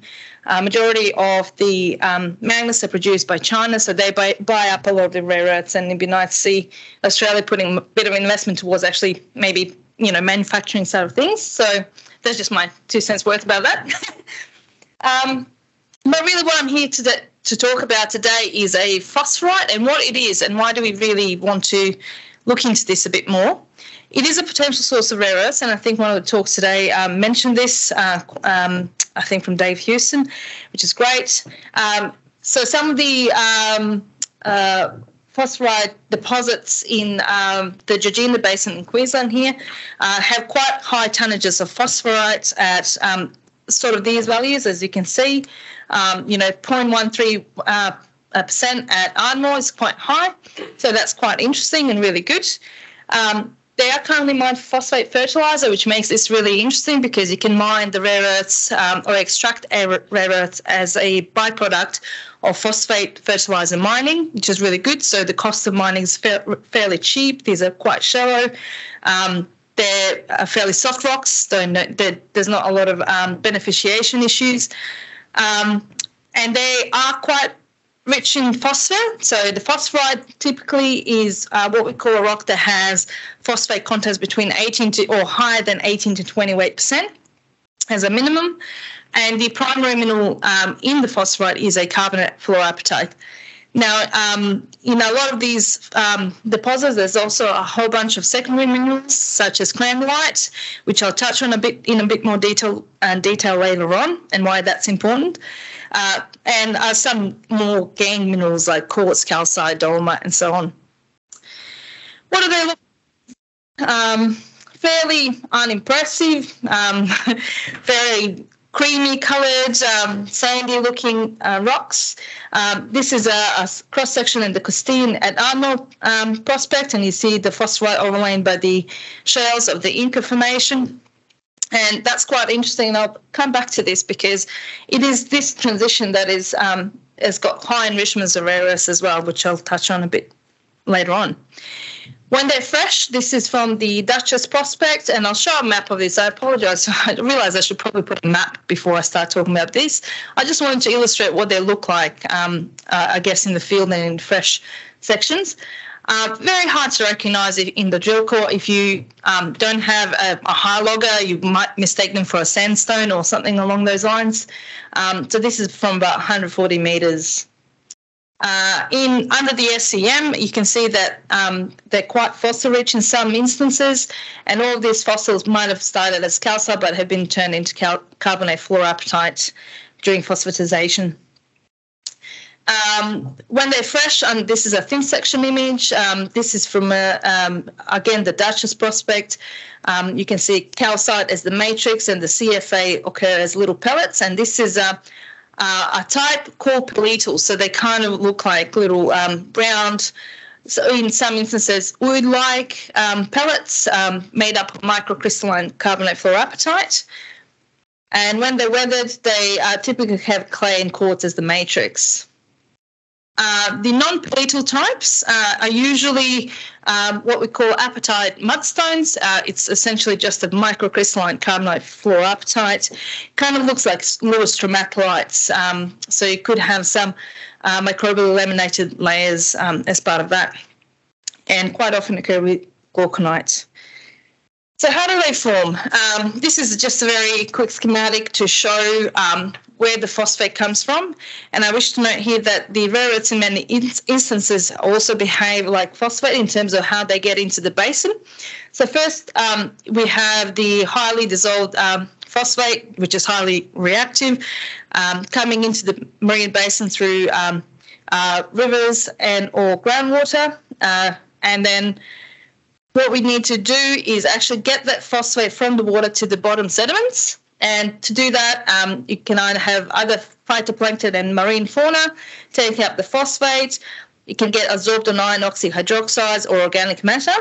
And once it settles down to the bottom, the phosphate comes off the, um, uh, I guess, from the organic matter. And uh, in the anoxic environment, also um, rem- it's removed from iron oxyhydroxides and organic matter and um, concentrates in the pore spaces, which is where you um, and calcium comes in also from the water as well as fluorine, which is not on here, and they form the carbonate fluorapatite. So that's a very simplistic diagram. Um, and um, the late stage is what we have is dynamic reworking, where you actually have wave action um, and um, water movement as well, concentrating these in some locations by winnowing or moving them.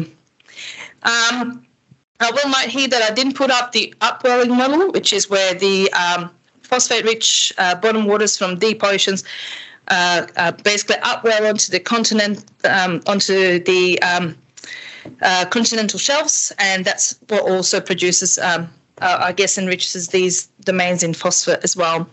The reason I didn't put that up is because Georgina Basin is a epicontinental um, it was formed in epicontinental sea. So this is now a map, finally. oh, sorry, I'll go back. Um, as you can see, there's um, Mount Isa is right there for reference. We've got um, a number of deposits up north in the, in the centre, and then Ardmore, which I'll talk about in a bit more detail down south. Phosphate Hill is currently producing majority of the um, phosphate fertiliser for the area. Um, just for the context, um, the Georgina Basin is Cambrian to Ordovician in age, and um, majority of the phosphites actually concentrate along the margin of this basin, or I guess majority of the economic deposits, I should say. In terms of total uh, rare earth enrichment in phosphorites, um, it's just a little um, plot here to show a box and uh, whisker plot to show that Ardmore, in fact, is the highest in total rare earth con- contents, which also include yttrium. Um, and then as you go further sort of to the north, the total rare earth contents decrease. I should note here that, um, as I'll, I'll, mention later, majority of the southern um, prospects, so the Duchess and Phosphate Hill, are all pretty much higher than the northern prospects up there. If you look at their patterns, so um, this is going from north to south, and this is normalized to the post-Archean, um, uh, post-Australian Archean shales. Um, you can see that they're mostly heavy rare earth enriched. Um, still um, pretty much, well, not pretty much, but quite similar to the shales. But as we go further south, we get we see an increase in total concentrations of rare earths, but the patterns remain quite similar, which is really interesting. When we look at what mineral the, do the rare earth elements sit in? Uh, this is just showing um, laser spots on the carbonate fluorapatite. Uh, this is, I believe, is dolomite from memory. And what we can see is that the patterns and the in carbonate fluorapatite match those of the bulk rare earths. So we're pretty confident that the, that's where majority of the rare earths sit. And the fact that there's no other minerals apart from that, quartz and calcite, which don't have any rare earths. So, what is the origin of, of rare earth enrichment in phosphorites? Well, we looked at uh, a number of possibilities. Firstly, um, is it primary? So, do we does do the rare earth compositions of these rocks reflect composition of the seawater from which they formed and bottom sediments at the time of formation? Um, and what actually then controls the rare earth composition of that seawater? And then the secondary possibility is um, is that these are um, enrichments associated with weathering and formation of crandallite, which I'll go into a bit more detail later on. Or there could also be uh, fault related. So Alice Springs orogeny affected the southern part of the basin um, during southwest block up movement. So it could be possible that flow, fluid movement along faults can also cause the rare earth enrichment. So we sort of investigated these and um, as I mentioned, we use neodymium isotopes and strontium isotopes, which I haven't received yet. um, so I'll, leave them out. I'll just talk about the neodymium isotopes. Well, firstly, we also wanted to test the primary enrichment, um, and we looked at the composition of modern day seawater and uh, in terms of rare earths and what the patterns look like. And if you have a look, so this is the composition of the modern day seawater from these sources. And the patterns are quite similar to those that we observe in the phosphorites. So that makes us think, well, it's possible that this does reflect seawater composition. I should note that the levels, the total concentrations of uh, rare earths in seawater are 10 to the minus six. so they're, they're basically a, a thousand to 10,000 times less than what they are in these rocks. A million times, sorry. Um, the other control that it it well, the other thing that might be controlling the rare earth composition is the type of the phosphorite. So the pelletal phosphorites are typically high in rare earths compared to the non-paleo types, and that could be due to the higher surface to mass ratio, which is more favorable uh, to for incorporation of rare earths into this uh, crystal lattice of the carbonate fluorapatite. So that is because there's a difference in terms of the type of the phosphorite in the north and center compared to the south, that could be the potential reason to explain the, the differences. Um, but we also wanted to know whether there's a basement control on, on the rare earth enrichment in these rocks. And if you have a look at the north, they, they sit on the siltstones and sandstones, I think in the McNamara group. And then in the south, we have the Sybella batholith, which is quite rich in rare earths, and I'll show that in a minute. And also um, a whole bunch of other rocks that are quite enriched in rare earths as well. So we then went out and analysed a number of sample basement samples from these um, domains just to see what is the total rare earth concentration of these rocks. Again, I should note that this is normalised chondrite, not um, shales. And if we, sorry, and if we have a look, well, pardon me, the Sybella granites um, are quite um, enriched in rare earths compared to the the siltstones and sandstones, and this is a Corella um, calc sample. So, thanks so much. Thank you. Too much talking. Um, so um, we went and, and analysed uh, a whole bunch of phosphorites for neodymium isotopes um, in these rocks, and we did this at the LA University. We have facilities there that do a really good job. And um, I wanted to reconstruct what this domain looked like, um, you know, 505 million years ago when these rocks formed. And this is taken from the um, Scotese um, publication through the EarthByte group. And this is where the Georgina Basin phosphorites sit at this time. Um, and then I tried to find other samples that have neodymium isotopes uh, from around, I guess, the area. And I managed to find some samples from the uh, Flinders Ranges and South China Sea. They're slightly older than the phosphorites. But if I plot on uh, the basement, oh, sorry, if I plot the basement neodymium isotopes, you can see that they're quite less, much less radiogenic than the um, than the actual phosphorites, which makes me think actually the basement does not control the total rare earth concentration in these rocks. But if I look at the um, Flinders Ranges phosphates and the South China phosphates, they're actually quite they're a little bit more close to the basement composition.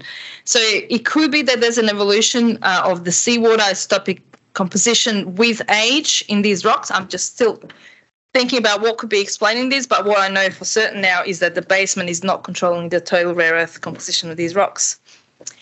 Um, I then looked at the um, whole rock data in terms of major and trace element geochemistry to see what the difference between the northern and central phosphorites and the southern phosphorites uh, might be. And as you can see, this is PCA analysis, which basically shows which uh, elements control the majority of the composition in these rocks. And the um, northern and central prospects are dominated by the uh, more ter- terrigenous materials, um, such as clays, heavy um, materials, and heavy minerals. As you can see, there's a um, higher, uh, they're more associated with um, zirconium, niobium, uh, which are found in heavy minerals. So there's a greater terrigenous input into the um, phosphorites that are further north into the center, whereas the southern phosphorites are more associated with the uh, elements that go into the carbonate fluorapatite mineral lattice, which makes me think that the rare earth enrichment in these is in fact due coming from the seawater itself. So just as a conclusion, basement appears to play a very minor, if any, role in total rare earth con- concentration of these rocks. So, could there be secondary um, reasons for rare earth enrichment in these rocks? And one of those being weathering. Um, so I'll show you a, a, profile of what the Ardmore-Costean that I showed before looks like in terms of total rare earth concentrations and the underlying pelletal phosphorites. Um, so this again um, is just showing that transition, and that's the contact between the shales and the the blazer shale. Yeah, it is. Oh, I'm trying to think information. Um, so um, forms close to the boundary between these two uh, uh, in this transition. And uh, we found some xenotime that we dated as well, uh, which shows that the um, weathering in um, these is quite recent. Um, so between, I mean, it's terrible data, so don't look at the errors. Elena, please don't look at the errors. Um, but the rare earth element concentration in some of these um, profiles can reach up to 1.75 weight percent uh, total rare earth oxide. Um, if you look at the now the um, concentration of rare earths as we go, so number one uh, corresponds to this number one on the um, on these graphs, and that's the sampling that we did.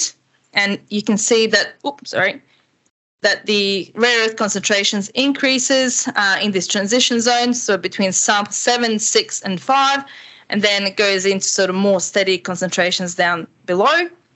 And this uh, zone is quite rich in crandallite and goyazite um, as well. And if we look at the rare earth patterns, um, you can see that these are quite rich in heavies, which are more desirable in terms of rare earth uh, production, and then increases, but more in the lights so than the heavies, really. And then as you go further away from the boundary, it decreases quite significantly. So this it suggests certainly that the weathering does play a major role in concentrating these um, in this zone. And when we looked at uh, the distribution of the heavies to lights in the crandallite, which is the uh, earth rich zone, versus the uh, carbonate fluorapatite, and this is from the Ardmore section as well, samples from Ardmore, you can see that the heavies typically sit in the carbonate fluorapatite rather than the crandallite. Crandallite's more rich in the light rare earths, and some of these probably reflect xenotime inclusions. So to conclude, um, origin rare earths in, in the phosphorites appears to be primary and likely reflects the seawater um, neodymium isotope composition at the time of their deposition. And there is slight difference between the northern and central prospects um, uh, that are slightly less radiogenic, which possibly suggesting the impact of this uh, high heterogeneous material in the northern and central prospects. And the absolute concentrations of rare earths uh, that vary between the different prospects are most likely due to textural differences. So the pelletal phosphorites are richer in rare earths and likely to also um, be due to secondary processes like weathering. Um, and um, just as a side note, the Corella prospect that's south of uh, uh, Phosphate Hill has very high concentrations of rare earths, especially yttrium in that transition zone. So that's quite interesting and just what's going on at the moment. So we are obtaining the remaining of the the rest of the strontium isotopes um, as we speak, and uh, on Monday I'll be doing some lasering of the um, weather profile across the Ardmore, as well as um, uh, this is quite funny. We managed to find samples of phosphorite from Paradise South in our crypt at Adelaide from 1970s. I have no idea where these came from. They're labeled Lady Annie. I don't know who they were sent to. Um, so it's the only um, actual whole samples that I have from the Paradise South or former Lady Annie prospect that I'm actually going to be analysing as well. So that's quite interesting. Anyway, thank you for listening.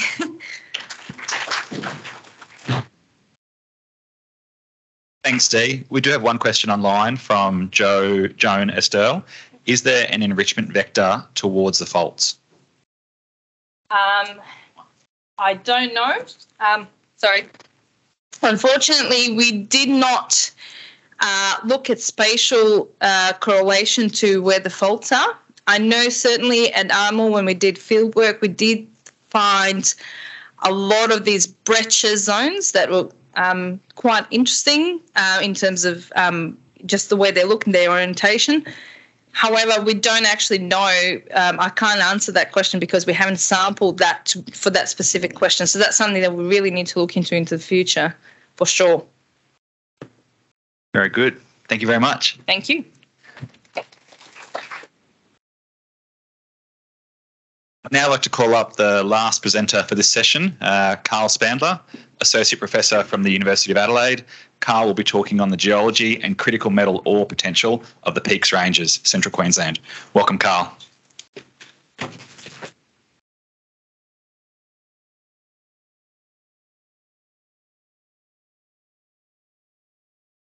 This looks pretty simple. Right. Um, yeah, so I'm ta- thanks, Evan, for the introduction. I'm talking about peak ranges, and I had this slide here de- deliberately um, to show you how nice the place is. Uh, and for those of you who've been in, know this already. If you haven't been there and you're ever heading north of Emerald or east of Clermont, it's worth uh, driving through this way to have a look. Most of this is on pastoral land, but some of it is national park. And so, if you like uh, hiking, it's a really nice place to go. Although there are no trails, so it's um, hiking through the bush. Anyway, uh, it's also got fascinating geology, and it also has interest for critical minerals, which is what I'm talking about. So this is a project that's ongoing with Uni Adelaide. Um, it was really started myself and Ross Chandler, the the last author on here, when I was at JCU, and it's been continuing with uh, some more honor students, and now is this a laser pointer? Nope. Laser, that's the laser pointer. With uh, Funny Muse, who's a postdoc, part-time postdoc at um, at Adelaide. All right. Uh, so a bit of context around this. Why why are we looking at this, and why why is this interesting from a, a critical minerals perspective? Uh, we know that Eastern Australia has a lot of uh, Mesozoic and younger alkaline volcanics, which is shown here. Some of them relate to these, oops, wrong one. These uh, long hotspot tracks that people know a lot about. Ooh. This is my laser pointer. Okay, no, thanks. Um, so these, uh, so the so the dashed blue lines. I'll I'll try and explain it better then. Dashed blue lines are these uh, hotspot tracks. The best known is the Cosgrove one in the west there. Um, but they're also older volcanics, so they're mostly the, the, the Cenozoic ones, but there are other volcanics, Mesozoic ones. And the one I've got highlighted there, Toongi, is of particular interest because it is enriched in a whole bunch of what we call rare metals, uh, including the zirconium, hafnium, niobium, tantalum, and rare earths. So this has been worked up by Alkane and then their spin-off company, Strategic Australian Strategic Minerals or Metals. Um, and they're probably going to be one of the next um, major producers of critical minerals in Australia. Uh, and that's hosted in a Mesozoic trachyte, um, alkaline trachyte. And so that means is there potential for more of these things across Eastern Australia? And so there's lots of work going on in this space now. So in New South Wales, there's a, a bit of an uh, initiative to map out the potential of these alkaline rocks through New South Wales. Up here in Queensland, we've got GSQ with Dave Purdy are working in these areas, Mount Hedlow and Mount Ramsey, and more broadly, and they're they're showing quite a bit of potential. There's work uh, south of where it says Peak Ranges in Springsure by uh, um, Scott Bryan and people at QUT and uh, there's other there's other work going on as well. Yeah, UQ are working on the more processing aspects of this as well. Uh, so we're working up there where it says peak ranges, uh, and this started a few years ago with an honours project by Ross Chandler, who's now doing a PhD at ANU.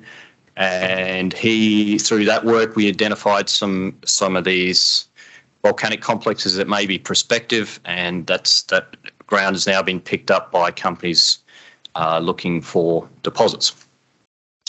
Uh, and we've also got, uh, thanks to GSQ and the Queensland government, a NEMI grant to keep working on peak ranges to try and understand the geology there better and the metal potential. And that's partly because there'd been very little work uh, on these rocks in the past. So this is uh, Ross's work um, so let's start. Oops, wrong one. Sorry. Can I go back? Yep.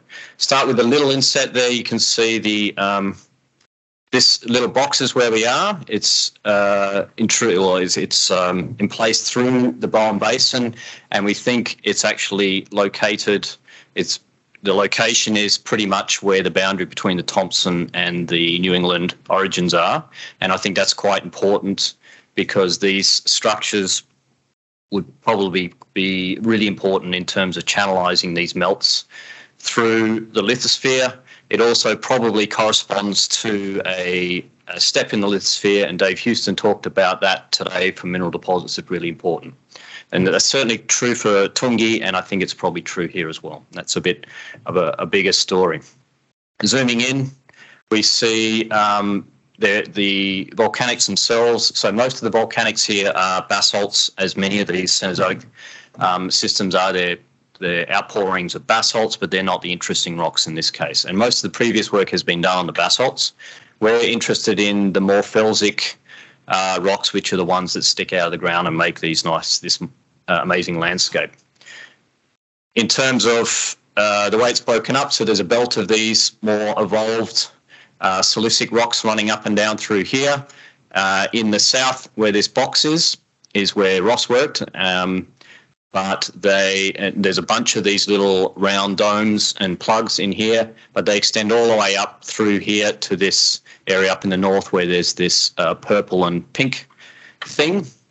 They surround that. The purple and pink thing is actually uh, some of the Thomson Orogen basement that is that has been exposed. A little dome complex coming through there with granites, um, uh, probably Ordovician to Devonian granites in the middle in pink.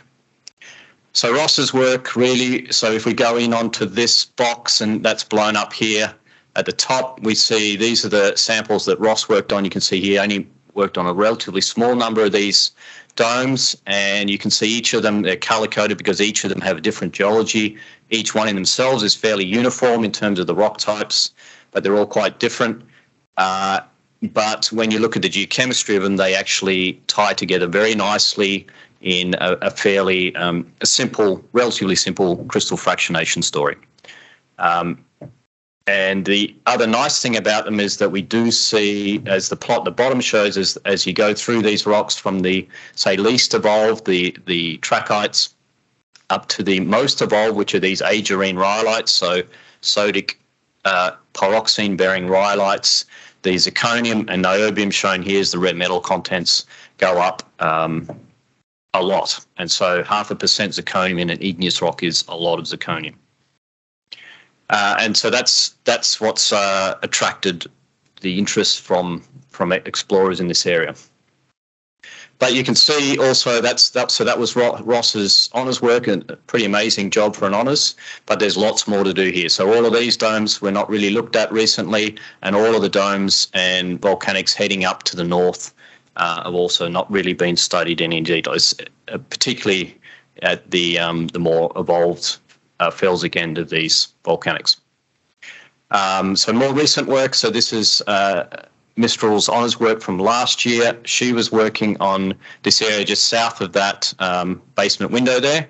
Uh, produced a map and again showed that's shown here that, that each of these volcanic systems is a is a unique little body um, there's just a few pictures of the rocks. The one I want to point out here, there's lots of them here. You don't need to know much about them. Um, but that one there, sort of in the medium blue, is interesting. Mount Donald, that's the biggest peak in that northern part of the dome of the belt. And that is uh, a little bit different compared to all the others in the north here. And you'll see that has more similarities to the south than the north. Uh, what have we got next? So Geochron, Geochron's a little bit interesting here because this is part of that Cosgrove hotspot track.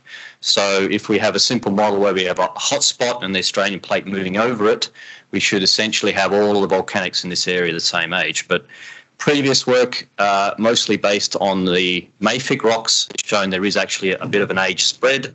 In fact, there's probably episodes of magmatism here going from 47 down to 26. That's really on the mafic rocks. Uh, we're interested in the, in the more felsic rocks. Uh, the only work that had been done on, in terms of geochron in the area previously was some of these peaks in the, the centre and the south that came up with about 30 million year age. So we thought we'd better check if some of these northern rhyolites were the same age, and they turn out they are. So we got some good zircon yields out of these, and they basically come out at 30 million years as well. So we're pretty confident that there is for the more silicic end of the of the magmatism here, it corresponds to a single event or near single event around 30 million years ago. And the other interesting thing here is this no inheritance. Um, they're all magmatic zircons um, at 30 million years, and that's interesting. You'll see why that's interesting in a moment.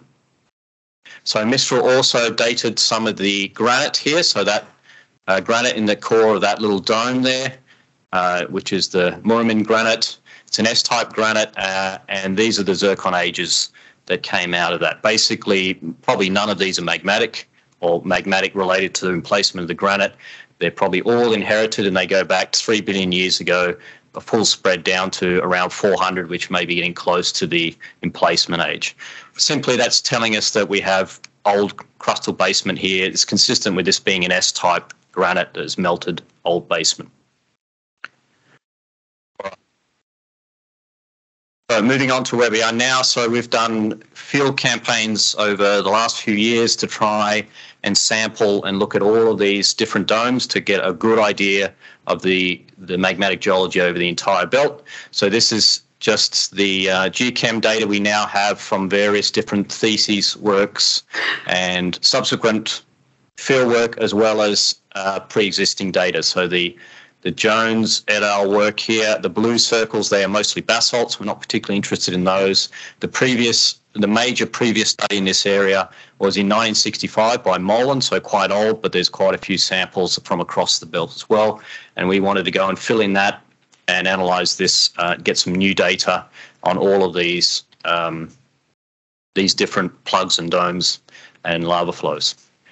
Uh, and we've got a pretty good spread of it now. So I'm just going to show some geochem to, uh, well, basically demonstrates a pretty simple uh, outcome of this. So what I've done here, these are sort of like Harker scatter plots, but they're not at all because we've got uh, a single axis on the vertical axis here, which is this PI peralkaline index, which essentially is the ratio of sodium plus potassium divided by alumina. And the, the reason why that's important is because they're the main components that go into feldspar. So at the felsic end, as you go from mafic to felsic, the thing that dominates crystal fraction is feldspar fractionation. And sodium plus potassium to alumina ratio in a feldspar is fixed at one. So if you're fractionating feldspar and your melt has more alumina, then than sodium potassium, then the residual melt as you fractionate will increase in the residual alumina, which means in this in this case it'll go down. The other way around, if you have excess alkalis and you fractionate feldspar, then the alkali content will continue to increase. This is really important from a mineralization point of view because per, peraluminous magmas, so they're the ones with less than one here, are not prospective for rare metal mineralization. Okay, you might want to look at these sort of magmas for pegmatites, although the volumes here are probably too small. But if you're looking for rare earths, zirconium, hafnium, etc., you want these guys, the peralkaline ones. And that's because those metals stay in the liquid for longer during fractionation and you can build them up. In uh, liquids, you, you fractionate things like zircon and it leaves the melt. Okay, so that's in some ways is our fertility index. What we see, all of the dots that are the orange colour are from the southern volcanics. Uh, and as you go to the high silica end, which is the most fractionated, what we see is it very much clearly goes up into the peralkaline end. Whereas the all the volcanics in the north, all the rhyolites in the north, which are the blue dots, it's very much in the peraluminous end. And the other plots are basically just showing you that very nice division between the two sets, um, between the two areas quite clearly. The last plot here, which is titanium, I put there just to show that these are really fractionated. So we're talking irrespective if you're north or south, you've got about 0.1% TiO2, which is really low. And that's a function of fairly extreme fractionation in both cases. All right, in terms of the metal content or the rare metals, it's a pretty simple story. As I said, more peralkaline, the more metals you get into the the liquids, and you, can see that here with the zirconium going up, niobium and yttrium as well, representing the rare earths. The northern rhyolites are very low in all of these guys. There's a couple here which is sitting higher, the, the, the blue dot sitting higher, and that's that Mount Donald complex, which I mentioned earlier, which is a bit different from the others in the um, in the northern end. Okay, what have we got next? So the story here, and this is really Ross's story, we've just fleshed it out more with more data in the south, is that we have these peralkaline liquids. They're um, they reach these really high metal contents through very extreme fractionation. They're mantle derived, so this is Ross's neodymium isotope data. And what we see is that irrespective of the rock type or the zirconium content, in which case, which we can use as a fractionation index, they all sit around three. So that's really telling us we're coming from the same source magma, which is a mantle uh, source. Um, and so now how do the other rocks compare to that? Uh, some new data that we've got coming in. Hello. Yep. So there's Mount Donald, this anomalous body in the north.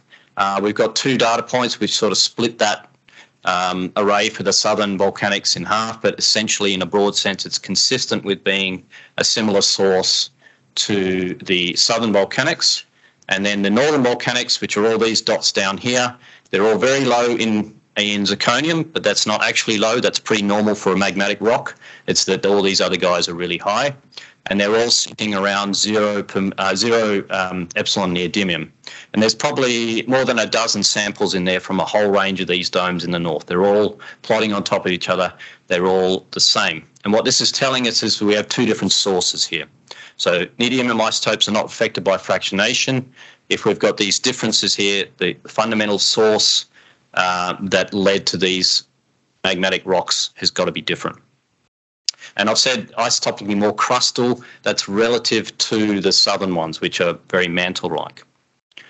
Uh, they're peraluminous magmas in the north, and many people often say peraluminous equals a crustal melt. That's kind of a, a bit of a paradigm. So are these crustal melts? Not exactly, because that crust there, the Thomson Orogen underneath, if we model this, we see this is it here. This is what we would expect it to be. We project that forward to 30 million years ago, which is when the magmatism was forming, and we get uh, an epsilon neodymium about minus 15. So if these northern rhyolites were just crustal melts, they would have that same signature. So they're not just crustal melts. There's the southern volcanics up here, plus three. That's consistent with a, a nice and rich mantle source the northern rhyolite sitting here about zero. And what our model for this is that these were essentially similar melts, uh, mantle melts, as that we see in the southern uh, volcanics, but then during emplacement evolution in the crust, they've been contaminated with some of this basement to about 15% to cause that shift. Uh, and that contamination will also shifted from having a peralkaline uh, fractionation path, it'll switch it over to being peraluminous, which then kills any chance of it being prospective for rare metals. All right, so very quickly to wrap up what we think is going on here. So there is, this is um, fairly widely considered to be related to this plume the Cos, of the Cosgrove hotspot track passing under this area 30 million years ago. What we think is that this is one of the biggest outpourings of magma related to this plume in the whole belt. Uh, there is evidence to, to suggest that the Australian plate may have been slowing down a little bit at this time. There's collisional events up in Proto New Guinea at the time. And so if we had slight slowing down of the, the plate, we've got more opportunity for that plume to be sitting under the crust for longer we get the doming at the surface, which is now expressed by this little window into the the um, Thomson Orogen, and we get pouring out of basalts, which is most of the magmas in the area, um, and lots of opportunity for that crust to heat up through magma emplacement and just the stalling of the of the plume underneath there. So we get crystal fractionation going on, um, um, but because of that elevated geothermal gradient in the crust, you get a lot more opportunity for assimilation. So as these things are evolving, they're assimilating crust and you're wiping out that rare metal potential. And then uh, the southern peak ranges uh, forms more distally, so it's down here, and it's either related to slightly maybe when the, the plate starts moving again, or it's more distal from where the, the, the core of the plume was sitting, therefore it doesn't have that um, thermal history in the crust or that elevated thermal thermal um, conditions, and so you get crystal fractionation to these extreme levels without any um, crustal contamination, and so it remains uh, fertile for these rare metals all the way to the end till it, it erupts as these domes. Yeah. Um, and that's the story essentially. uh, where we are at the moment with it. I think I'll leave it there. That's it. Yeah.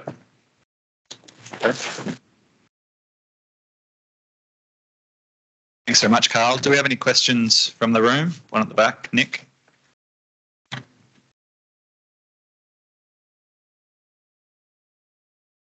Are there any of these um, volcanics that head towards the nepheline normative, so the alkaline sites, rather than the tholeiitic and quartz normative? Um, at peak ranges, no. Oh yeah, absolutely. Um, no, I can't go back. Anyway, uh, yeah. So you you might have noticed that there's a bit a bit of a belt that goes maybe three four hundred kilometers from the coast, and that again comes back to the lithosphere thickness. So lithosphere is relatively thin. They think um, this has allowed those magmas to come through. There's a few places where you go further inland and the lithosphere is thicker, and you do get much more alkaline um, magmas there, but very small volumes. And there, there is a little bit. I don't know if there's any studies on those, but there is people picking those up as exploration targets at the moment. Yeah. yeah. One more question. I was just wondering if you're going to uh, use the zircon hafnium isotope to resolve your idea on the mixing between crustal and mantle sources rather than having totally different distinct sources. Um, do you plan that so you just confirm your ideas? That's a good idea. Uh, we haven't, we weren't planning on doing that, but we could do that. Yeah. Okay. Um, that wraps up our session before lunch. So in a moment we'll break. Um, for those in the room, if you could be back in by 125, please. We'll start back at 125. Those that are online, um, we're actually going to end the session for the online participants now, and then we'll open back up at 125. The recording will be um, split into two. So those that are online, please come back. Um, we're going to finish the morning session and then use that same link to re-enter at 125. Thank you.